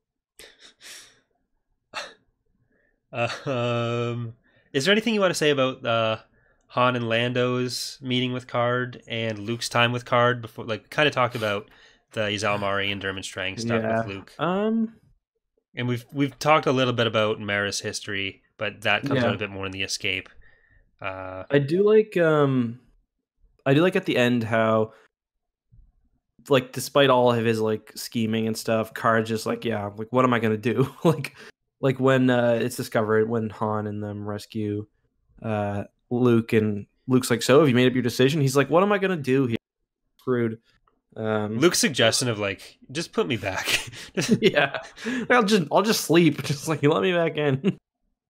if you want to abandon me in the middle of space, act like this never happened. I'm okay with that. Is yes, like exactly I will do says? that. Yeah. Yeah. Um, I don't know. I felt bad for Cars. Like, you, yeah, you didn't no, want any of he's, this. He's he's like fundamentally a, a good uh, a good person. Um, and yeah, he like he's like a he, he's like the I don't know if he'd be like I'm trying to put him on like the the alignment chart.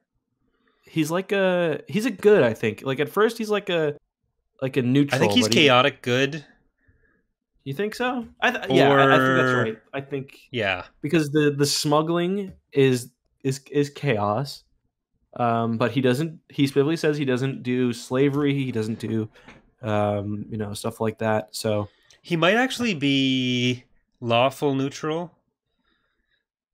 Because I think until book three, maybe. I, I yeah, because like he does have his code end... that he stands up to. So I want to say lawful, but lawful good doesn't really work with well lawful good does work with the smuggler stuff because everything he does with smuggling is making oh I, oh you meant Republic. lawful good. Okay. I, th- I always thought you meant lawful neutral. Well i, I, I did he, say lawful neutral at first be, but i don't know if a smuggler can be lawful though. Well lawful doesn't just mean like you follow the laws yeah, as written because no. if you're like living within the imperial law you're right. you are yeah you're right. He's got a very good he's got a very you're right. He's got a very strong um so and he right. wants to do the right thing. So he's doing the smuggling but he's trying to do it according to a code of laws that he has set up himself. So you yeah. could say he started off uh, lawful, evil, even maybe if yeah. you I wouldn't even say that, maybe lawful neutral. He's probably presented as lawful evil because for a bit in this book anyways. I mean, he replaces Jabba, so like you assume yeah. he's going to be and he, he it, it's ultimately a criminal syndicate um because what he's doing is a crime, but it's not like you know, it's not a he's smuggling. Like he's yeah. come on and he's doing a lot of smuggling in the empire as well, especially. Yeah.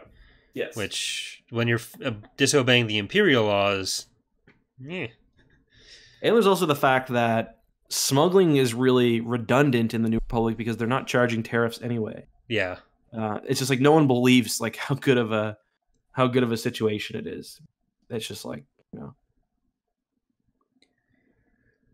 Uh but he's not evil. I I, I can't. I don't. Yeah, Karrde's not evil. We especially in the last book. And Does does anything really come out of Han and Lando's trip other than establishing their relationship with Karrde?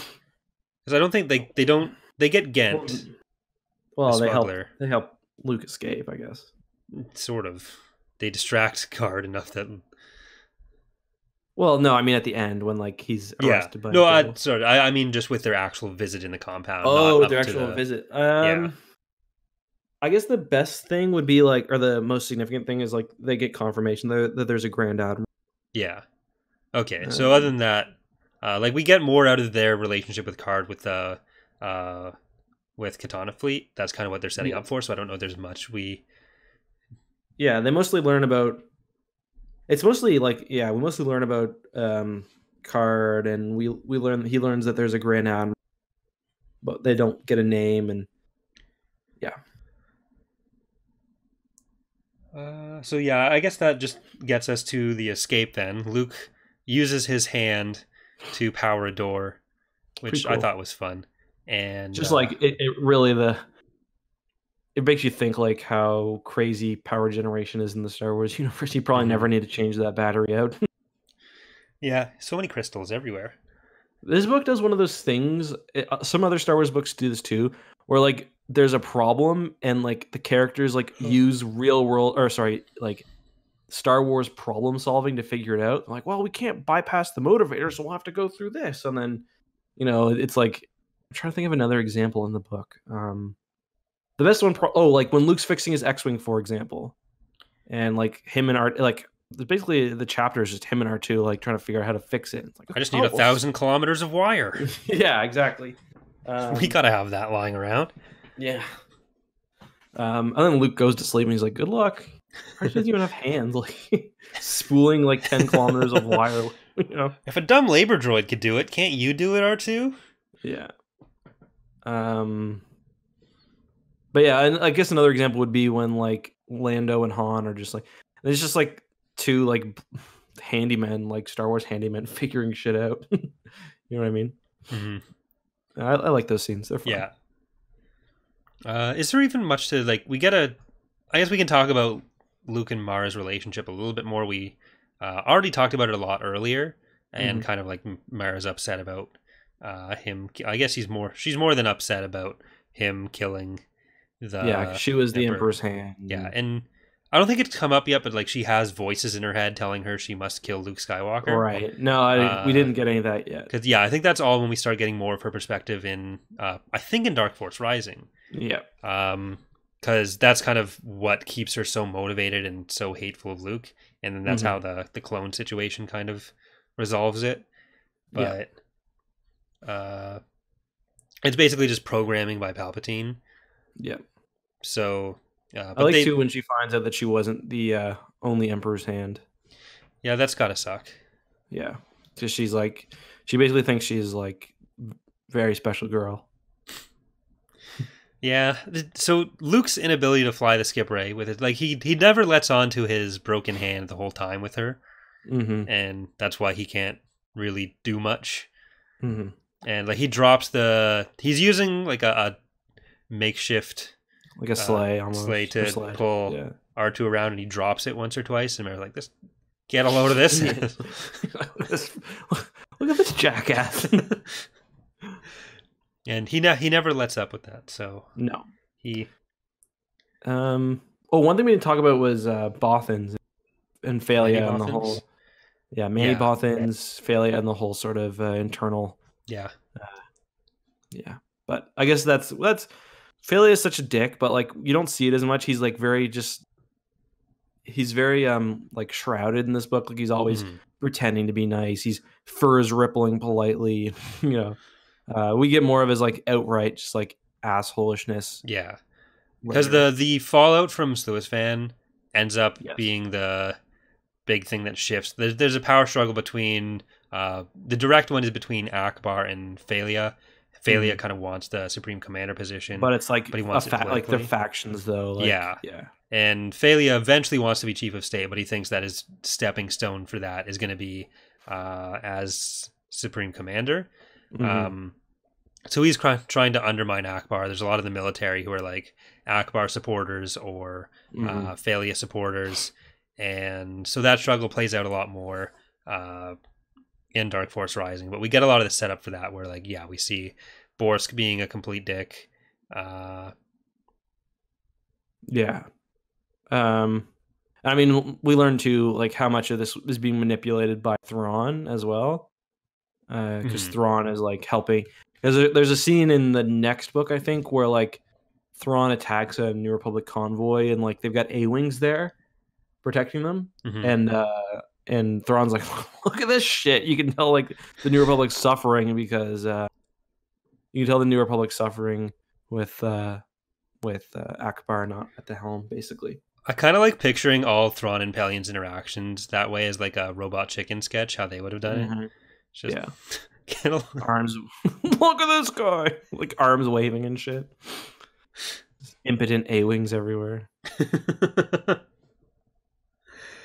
uh, so I the escape and the battle at the city that all happens before yeah because Han and Lando go from the battle to Sluis Van but Mhm.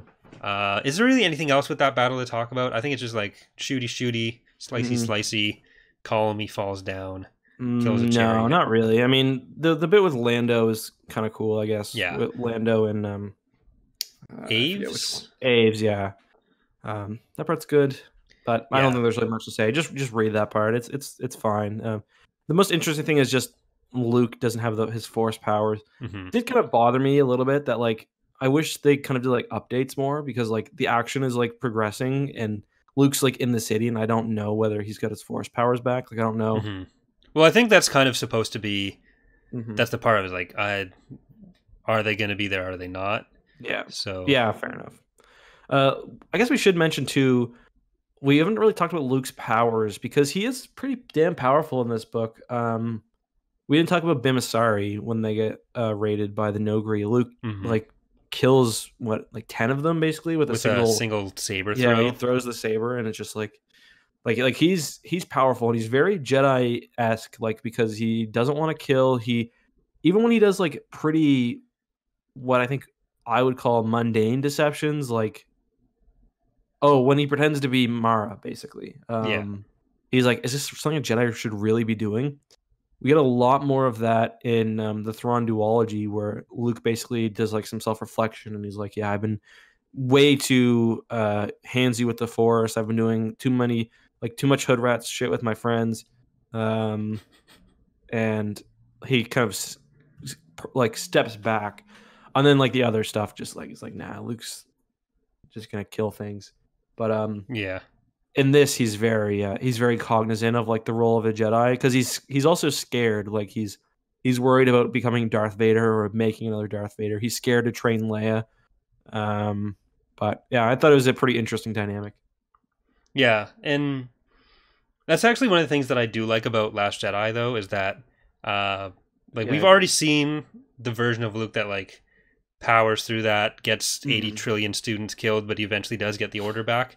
But Yeah. that I I do like the fact that we already got that, and then with TLJ we got the version of Luke that is like he tried that a little bit, was nervous about it, it failed with Ben in the biggest way that it could, yeah. and then he cuts off completely.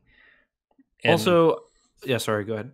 but yeah, we're we don't need to get into TLJ, but No, but I, th- I think ultimately people's idea of like what Jedi should be is kind of ruined by the prequels, where they're shown to be fighting a war, but like the whole point is they shouldn't be. yeah, um because like like luke refuses to kill vader to fight palpatine in return of the jedi um like that is a jedi doesn't have to be defenseless he was like that because he was scared of falling to the dark side but like still you've got to i think really self like even games like you know people always talk about the force unleashed but like being a jedi is less about you know killing things and I'd say it's even less about defending the galaxy than being like kind of a force for good. I think. yeah, or not being explicitly a force for evil, or making sure your first priority is not becoming a force for evil. Yep. Exactly. Um. So yeah, I, I think that uh, that this handles that really well. But it, it's the Last Jedi is very similar to, in a lot of ways, to the Thrawn duology, but Mhm. we'll talk about that when we get there. Uh, but yeah, so now uh, Han and Lando are heading to Sluis Van Mm. because they want to get that's like the closest place they can get repairs or Yeah, something. and until they Luke decide, as well. which Yeah. is clearly bullshit. But Yeah. Uh, uh, but whatever. Uh, but we they did get that had scene so they wanted to check up on the raids from earlier better, but Yeah, they're nearby, and then they get to the right Yeah. place. But yeah. whatever, they they end up in the right place. Mm. Star Wars. Uh, but we get the scene I was talking about earlier that I really like with Wedge and Arcus or Harkness Ah, yeah. or um where like he's just drinking coffee and like yeah and and or Wedge is drinking tea and he's like, man, I'm actually being kind of a dick here. yeah yeah he he's still Wedge. Yeah, He we we're seeing the maturity he gained over the course of the X-wing books before they were written. a little So, bit. Uh, also meant to mention the uh on that note, there's Han and the general a bit too, but that's just a kind of ties in with Mhm. courtship, I guess. But yeah, yeah, you're right. That it's a nice little uh X-wing short story there. and we it's kind of used to back up the whole Ackbar versus Fey'lya uh rivalry because Mhm. I think I'm gonna Wedge just keep pro calling him Ackbar is pro yeah. Fey'lya Mhm. or some of the people I run into are. But while they're waiting for this routine stuff to happen, Thrawn jumps into the system. Sluis Van is going to be our. This is the big part of the campaign. All the other operations we're doing is uh, secondary. And they've Yeah. got 51, 54, 51, 51 mole miners.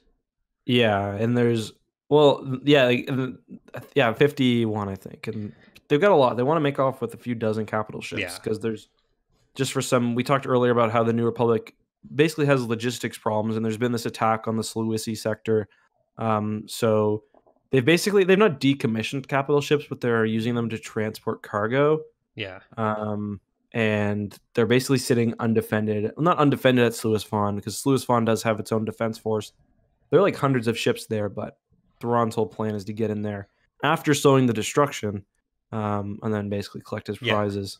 Like he's got the uh the freighter, which has they've like mocked up to be damaged to kind of Yeah. disguise the fact that it's full, and they've got uh, cloaks on all of the uh, on all the mole miners or within the transport rather. Yeah, Uh, it's not every mole miner's cloaked, I don't Mhm. think, but uh, that the transport just explodes, sends the mole miners everywhere, and all the confusion. They start boring into the ships, and it's Mhm. very, it's going very much in the Imperial's favor.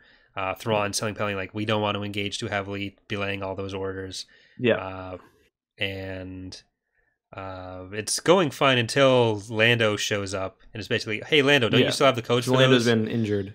Yeah. Oh, I think I just lost Corey. Just a second.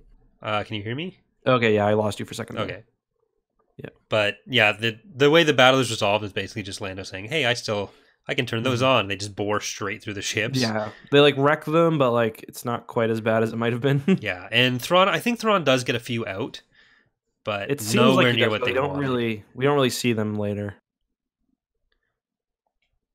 Yeah, so it it's it's not anywhere near what he needs for the campaign. Mhm. Uh, No, no.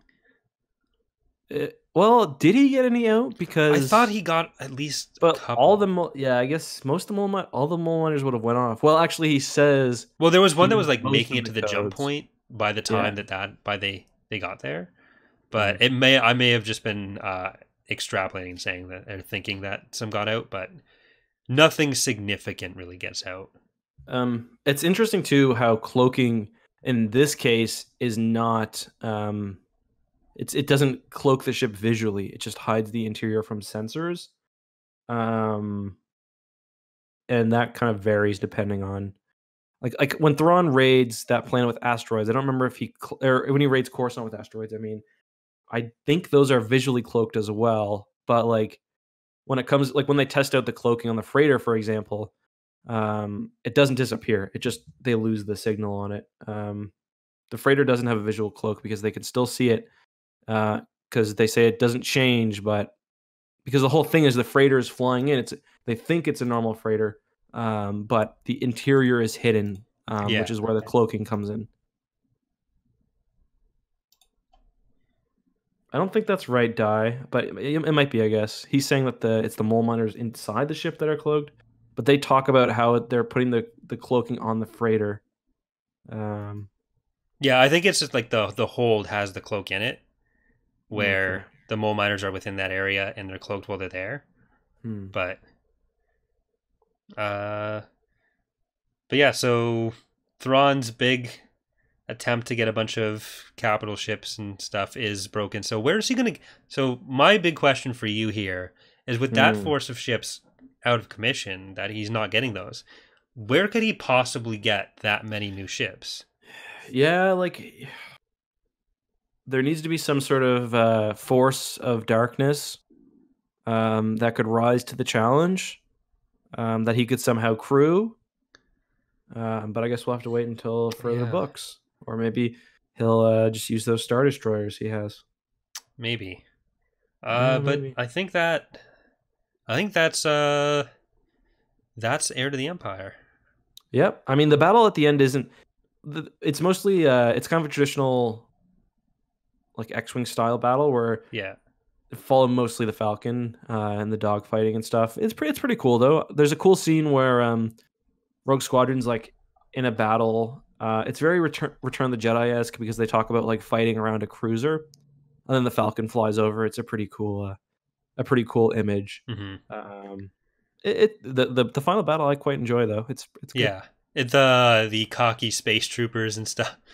Yeah, and listening in on the uh on the Yeah, there's a lot of cool little moments with it.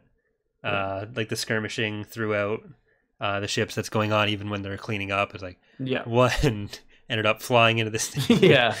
It's like they destroyed a Corellian Corvette just to be a dick.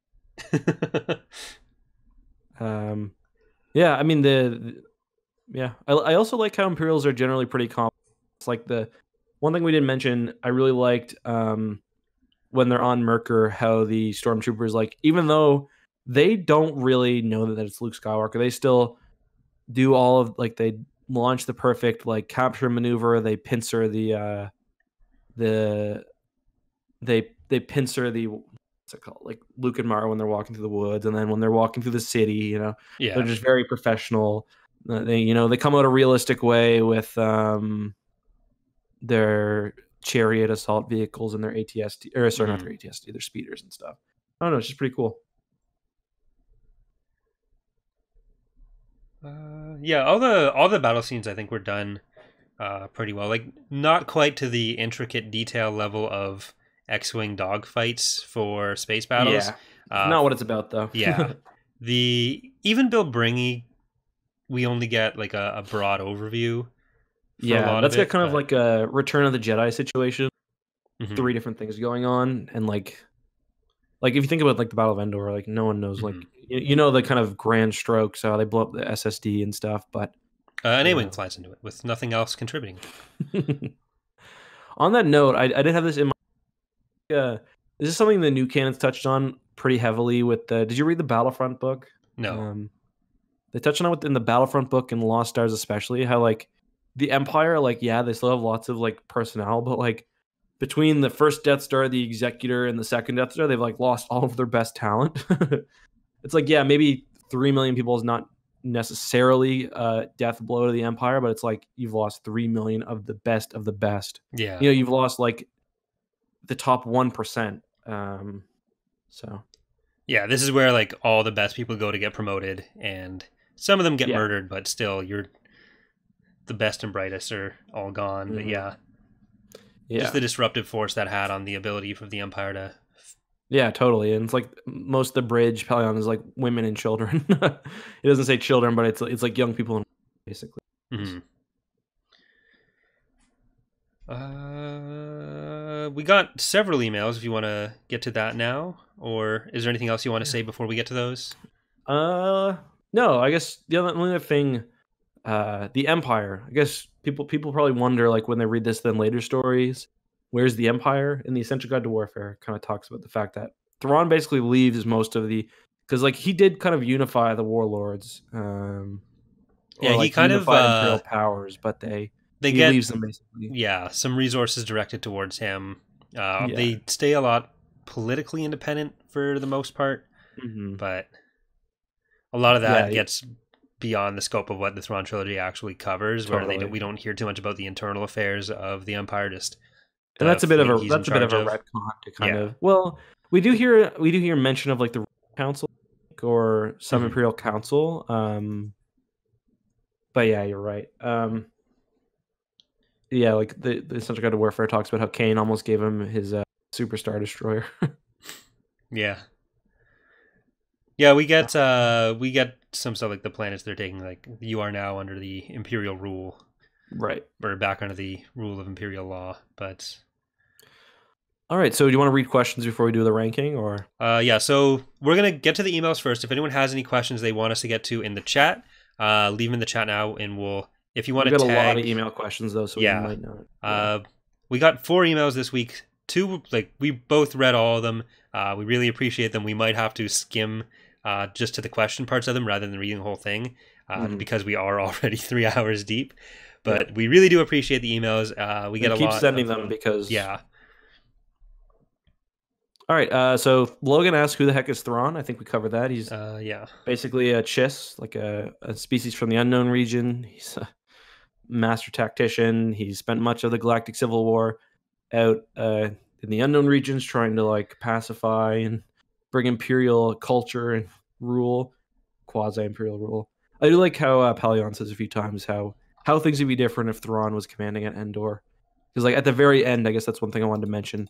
Pellaeon's expecting Thrawn because the beginning stages of his plan are messed up. He's like, well, I guess we're just gonna kill ourselves now yeah, in in battle. And Thrawn's like, no, like this is just like shit, dude. Don't worry. this was just this was just a um uh a first step that we screwed up. So. Um, Uh, if so, for anyone in the in the chat that's putting a question that you want us to answer for the for the podcast, if you could just put like question in all caps beforehand, so it's a bit easier to spot in the chat. Yeah. maybe. Uh, but our second question here from Will: uh, What kind of bear is best? Uh, polar. Uh, my real question is: Which Star Wars author do you think brings space battles to life the most, or which one just makes them play out like a movie in your head? I think Zahn does very well with both capital ships and starfighter combat. So, do you have an opinion on that so far? Maybe just limiting it to what we've Uh, read uh, thus far. I mean, Stackpole gets the scale right. I think. Um, Actually, I don't know. St- St- Stackpole, I think, does a really good job on like, like individual s- fighter stuff. Um, but I think Aaron Alston does better when it comes to capital ship stuff. But even though Zahn is was much simpler, he really captured the uh, like it, it, the battle. I think he sets it up in an interesting way, and actually kind of captured for me the feel of like the Battle of Endor at Return of the Jedi the most. So I'm actually gonna go kind of surprising maybe to some people and say Zahn. Yeah, I think uh, Zahn manages to balance it with uh, with the plot overall better, but I do Yeah. think that just for their own sake, that uh, Stackpole and Alston do the better space combat. Probably Stackpole, Okay. uh, and it worked really well with X Wing, where like that kind of was what the books were, where it's uh, Top Gun. I mean the the Battle of the Lusankya is really cool. Um, yeah, that's that's like a highlight, I think, Yeah. for me. Uh, so I think I'm gonna go with Stackpole, but I think There's lots of good space combat. Zahn's up there as well. Um. Okay. So, hold on. Is there, is there anything else in that email? Any other questions? Uh, no.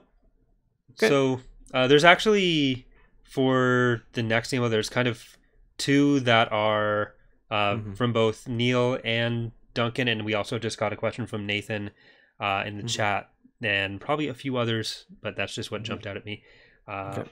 That how Thrawn compares in new canon to this canon. Uh, right. that's the general gist of what all three of them were going for. So if you want to, Yeah. I mean, I mean, for me, I think Thrawn as a character, they pretty much nailed in new canon. The stories have been weaker, um, just because they've been so limited. I think, but the character they've done a really good job with. Uh, we still, I mean, he's still out there. I, I have high hopes that we get a really good Thrawn series. I mean, they've invested pretty heavily, and I'm like, I, I never would have believed that we would see Thrawn on a TV show because everyone who knows the expanded universe knows Thrawn. But you know, I've said this before.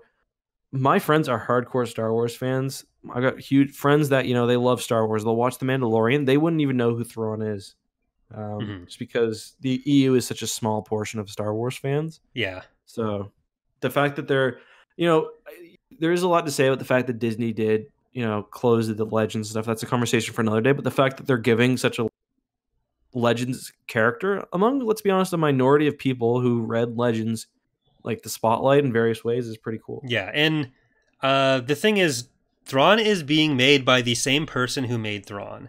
Yeah. Like it's still those the new Thrawn books were still made by Zahn.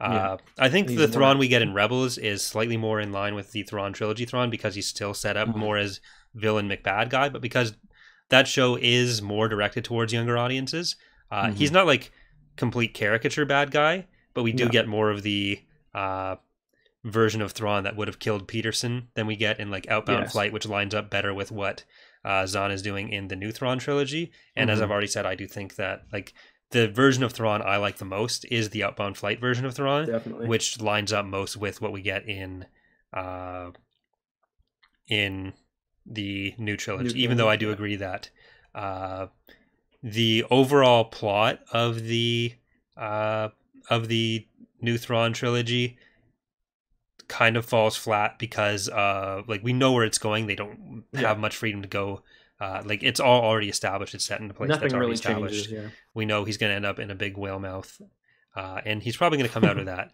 but that's why i'm really looking forward actually to the ascendancy trilogy Mhm. i'm not sure when that's going to be set but if it's set slightly after at a point where we know it can diverge more or we, we're not 100% sure Well, some of it's gonna to be a prequel at least. yeah so Yeah. uh but yeah, that's kind of my take on that my hope is like honestly my my hope is after we get episode 9 out of the way i hope that they i think there's two options. Either i think that there's a chance that episode 9 is treated like the war to end all wars and after that the the universe is just done. I, th- I think that that's a possibility and like they they focus mostly on the past. Otherwise i don't see why you can't bring Thrawn back to be a new villain or to be a new like give him room to work with in a new time period kind of just like the same thing that happened Yeah. with legends but like okay he was in a space whale but he could be who knows Yeah. where Well, Dave Filoni's even said like we explicit we didn't explicitly kill him off because we want Oh, them to be free to to he's use them. 100%. We needed to resolve his plot for the show, but Mhm. also like they're very much planning for Yeah. Zahn specifically to bring him back. Like I would be The shocked only- if that didn't happen. The only tough part is i wish they left more i honestly wish they would have left the new republic era before More episode open? 7 I, I I wish they would have not covered it as much because they've kind of Yeah. basically outlined the fact that not there wasn't a lot of conflict during it. Yeah. So Um, if we see anything in that period, it would have to be uh, anything he's doing in the unknown regions that isn't controlled by the First Order. Mhm. but uh, I, I I think they've been pretty clear on like the point of the uh, sequel trilogy being about resolving the Skywalker storyline, and Yeah. I do think a lot of what they've done best uh, in uh, like the stuff that I've enjoyed most is the stuff that uh, isn't part of the mainline series. Mm-hmm. Uh, so like I really like Rogue One. I really like what they're doing with the Mandalorian. So Yeah. I can see them still being fine with there being other major wars. It's just wars that aren't about the Skywalkers. It's just I Uh, kind of feel like they're going for something like I don't know, like the whole to me the whole like Rey and Kylo Ren thing. I think they're clearly supposed to be like I don't know, like some sort of like avatars, kind of like Anakin was in a way. Mhm. Um, so I like I just feel like they might be going for like I don't know, like a a yin and a yang thing. And when they finally, this is like coming into some Reylo shit, probably. I like I'm not uh like an, into that, but it's just like I think there's themes that they might decide to go with that would, um, you know, kind of see. I don't know, because like the, the the prophecy or what whatever the the grand thing in the Star Wars series is like whether the prophecy is fulfilled and there's balance or or whatever else. Yeah. I, I that's a they might going, and Yeah. then they might decide that okay, well, like all these things have happened, and maybe maybe there is no more conflict. Like maybe there is actually finally peace or whatever. But yeah, Yeah. This is probably more of a discussion for uh like a post yes, last uh the last Skywalker Rise, rise, of the Last Skywalker Jedi Return of the Sith Yeah. Phantom Menace clone attack of the Jedi. the rise of the Phantom Strikes Jedi. Strikes back. Uh, but yeah, oh, you that's- almost did all of them. Rogue One Solo. uh, but yeah, so I think that more or less covers our opinion on Yeah. uh, how Thrawn compares, and then so much more. Yeah. Uh, kind of covered his next question about over the top. We covered that. Um, I think. yeah. Uh, Colton Calculator would say his reading and art was a bit over the top, and, and I've already kind of gone Yeah. on enough rants for one podcast about that. Yeah. yeah. But uh, but yeah, so He he also agrees Marc Thompson is the best audiobook commentator or reader. He's phenomenal. Hmm. Um. Okay, Duncan. Uh, uh, do you, Duncan asked Yeah. about the same Thrawn thing, but if you want to, Um. Let's see. Yeah, I mean, he's kind of I- asking about the same uh, the Disney novels things, and that's probably a, a- something we'll get into when we'll, when we get to some of those novels. Yeah. Maybe a bit of a long discussion to get into three and Yeah. three hours Um, deep into this podcast. I, th- I think I think we covered most of it. Yeah. Um, yeah. Yeah, so thanks for the emails, guys. Uh, if you want to send an email for uh, the next episode asking any questions about Dark Force Rising or giving thoughts on this podcast, Mhm. uh, that's tapcaftransmissions at gmail.com. I think that'll be in the description Caf for that. without an e. Yeah, tapcaf without. It's on the screen or on your podcast reader. Uh, one thing I wanted to mention, I don't know who asked this. The moving city on Nkllon, I, th- I think is pretty cool. Um, Yeah. I watched your video and yeah, I was disappointed because it's basically described as like a dreadnought on a bunch of AT-ATs. Basically stays in like the shadow of the moon, so or like not the shadow of the moon. It stays stays on the dark side of the planet, basically, so they don't get roasted. That and the uh, the shield ships are pretty cool. Yeah. Uh, the, the comic just makes it look like it's a weird giant steamship. It's- the the, it's the not art for the first uh, book, the comic is really bad. It gets a little better. Yeah, and it's amazing because there's so many. Well, I guess at that no, it, it came out at a point where there'd be enough Dreadnought fan art that they could have traced for. certainly, yeah, Uh, certainly. but was Thrawn a Sherlock Holmes? And uh, Nathan asks also was Thrawn a Sherlock Holmes analog like he's in the new trilogy? Uh, could you see him joining our line with the New Republic post Endor? Uh, Not this version. yeah, not the Thrawn trilogy version, but the version that we're retconned into with Heir with uh, uh, Pr- probably would have had he been Yeah. reborn. the Like one thing I did, yeah, Empire of the Hand was basically gearing up for that, and they did cooperate with the New Republic. So Yeah. if we take what Parck did as kind of a stand-in for Thrawn, uh, Mhm. then I which is think kind of that could have interesting because even though Mara and Luke know that, they're like, don't try to save him, or I guess they don't try to kill him either. Like Luke's like kind of belated. Well, he's like kind of happy when Thrawn dies, and I'm like, are you serious? Like he would have been probably your greatest ally, but Yeah, I could. Well, just the the threat of Thrawn was throwing things into such disarray yeah, that even if Thrawn was like, "Yeah, I'm cool with you guys now," then Thrawn's there'd still got- be enough people in the New Republic just being like, "No." Thrawn's got a mega. No, I'm not gonna say this. Never mind. I'm gonna, I, I'm gonna self censor. Uh, what do you think is the best first way to learn about Thrawn for newbies? Uh, listen to this Uh, and the yeah, next two episodes of this Tapcaf Transmissions. Yeah. Yep. You'll hear everything. Don't you read the books. or play Thrawn's Revenge. Yeah. Um, I think that's it. uh, Thrawn does say he's working on an assumption that the departure logs pulled from Nomad City computers were accurate when they said Lando was one of the Han and Leia on the other. Uh, I mean, that isn't really the part that I had issues with, but I kind of spent 15 minutes on that already, so I won't subject anyone else to my complaint for that. Uh, Astrid Uh, asks a question which she thinks isn't relevant, but it actually is. Um, how did Luke ever train anyone when, when he never finished his own? That's like basically his ultimate issue here. Like he doesn't feel qualified. Like he's like, oh, I wish I could ask somebody this question. Uh, like like Leia asks him, like, is this maybe harder for me because I have some training already and it's hard for me to break that? And Luke's like, probably, but I don't know, and I wish I had somebody to ask. We will look into that and we will get back to you. yeah. Let me just check Coruscant real quick. Uh, and any other questions we missed? I guess we'll do the book rankings now, and then if we've missed anything, uh, You want to go first? okay. So my rankings as they stand so far, and I, I really next episode I already have I'm a done way to with do this. the Okay. no. next episode I have a way to visually represent it, so we don't have to read the entire list every time. But so You've got far, that, we've got that technology available to us. uh, I do when I'm streaming it because I have the my video thing, but I can Mhm. just also send you the I, I got it. I could. that. yeah.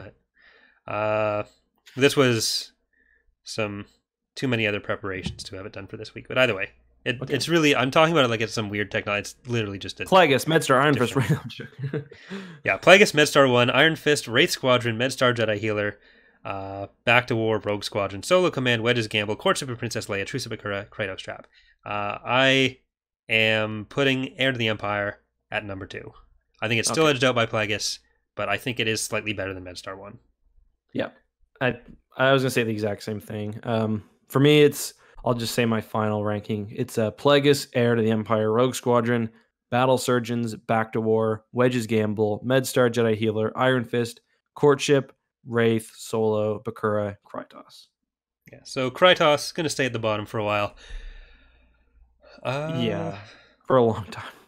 Like the other ones, like some of the other ones are so campy that like even that alone will probably like when we get to Anti Force and uh in um uh Crystal Star, I'll be like this book's shit, but they just swam in a giant goo monster and they're talking about the Anti Force. hmm it's more interesting than anything that happens in Krytos. Uh, and I guess we've got that last question there. Do you want to From Primarch. quickly? Yeah, we can quickly discuss that, and then I think that'll be it. I think I don't know. Like I don't like the idea of clones being like capable of like harnessing the force, at least not regularly. Uh, I don't know. It, it- it's, we don't. I don't really know enough about. I can't. I can't decide. Do you have? The question is for podcast listeners. Um, do you prefer Clone Wars as they presented before the prequels, or what we actually got? I I kind of like what we actually got, like the the whole Clone Masters, where all the clones just went mad.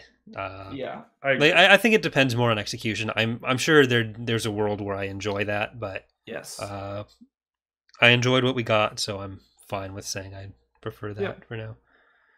yep. Me too. Uh, what is the point of airborne clone troopers when there's jetpack troopers? I mean, it's the same thing. They're just named something different. Well, the ones here are like fully meant for like zero G and and Yeah. vacuum combat. They've got like a really thick suit and like they can probably take like a couple uh, like like they're not gonna get sizzled by a turbo laser. Well, maybe a turbo laser. But they're not gonna get sizzled by a laser just missing them. You know what I mean? Yeah. But uh, I think that that does it. That's it. So right, that guys. that was three Oh. hours and fifteen minutes. Uh, originally we were gonna do some other streaming after this. Is Yeah, it might be too late. probably gonna hold off on that. Yeah. Uh, so thanks for watching, everyone. Have a great day, night, week, whatever. May the force be with you. Goodbye. We'll be back with Dark Force Rising in two weeks. Bye, everyone. Oh yeah, we should probably mention that on yeah. Uh, the podcast isn't ending after this episode. Mhm. Uh, we should be back December fifth. Are you? Um, I will let you know. I Okay, so we are- tentatively scheduled for December 5th. We will uh, announce when we know for sure. Uh, but that'll be on Datapad, my channel. Uh, and we'll be talking about Katana Fleets. yes. Good night, everyone. Good night.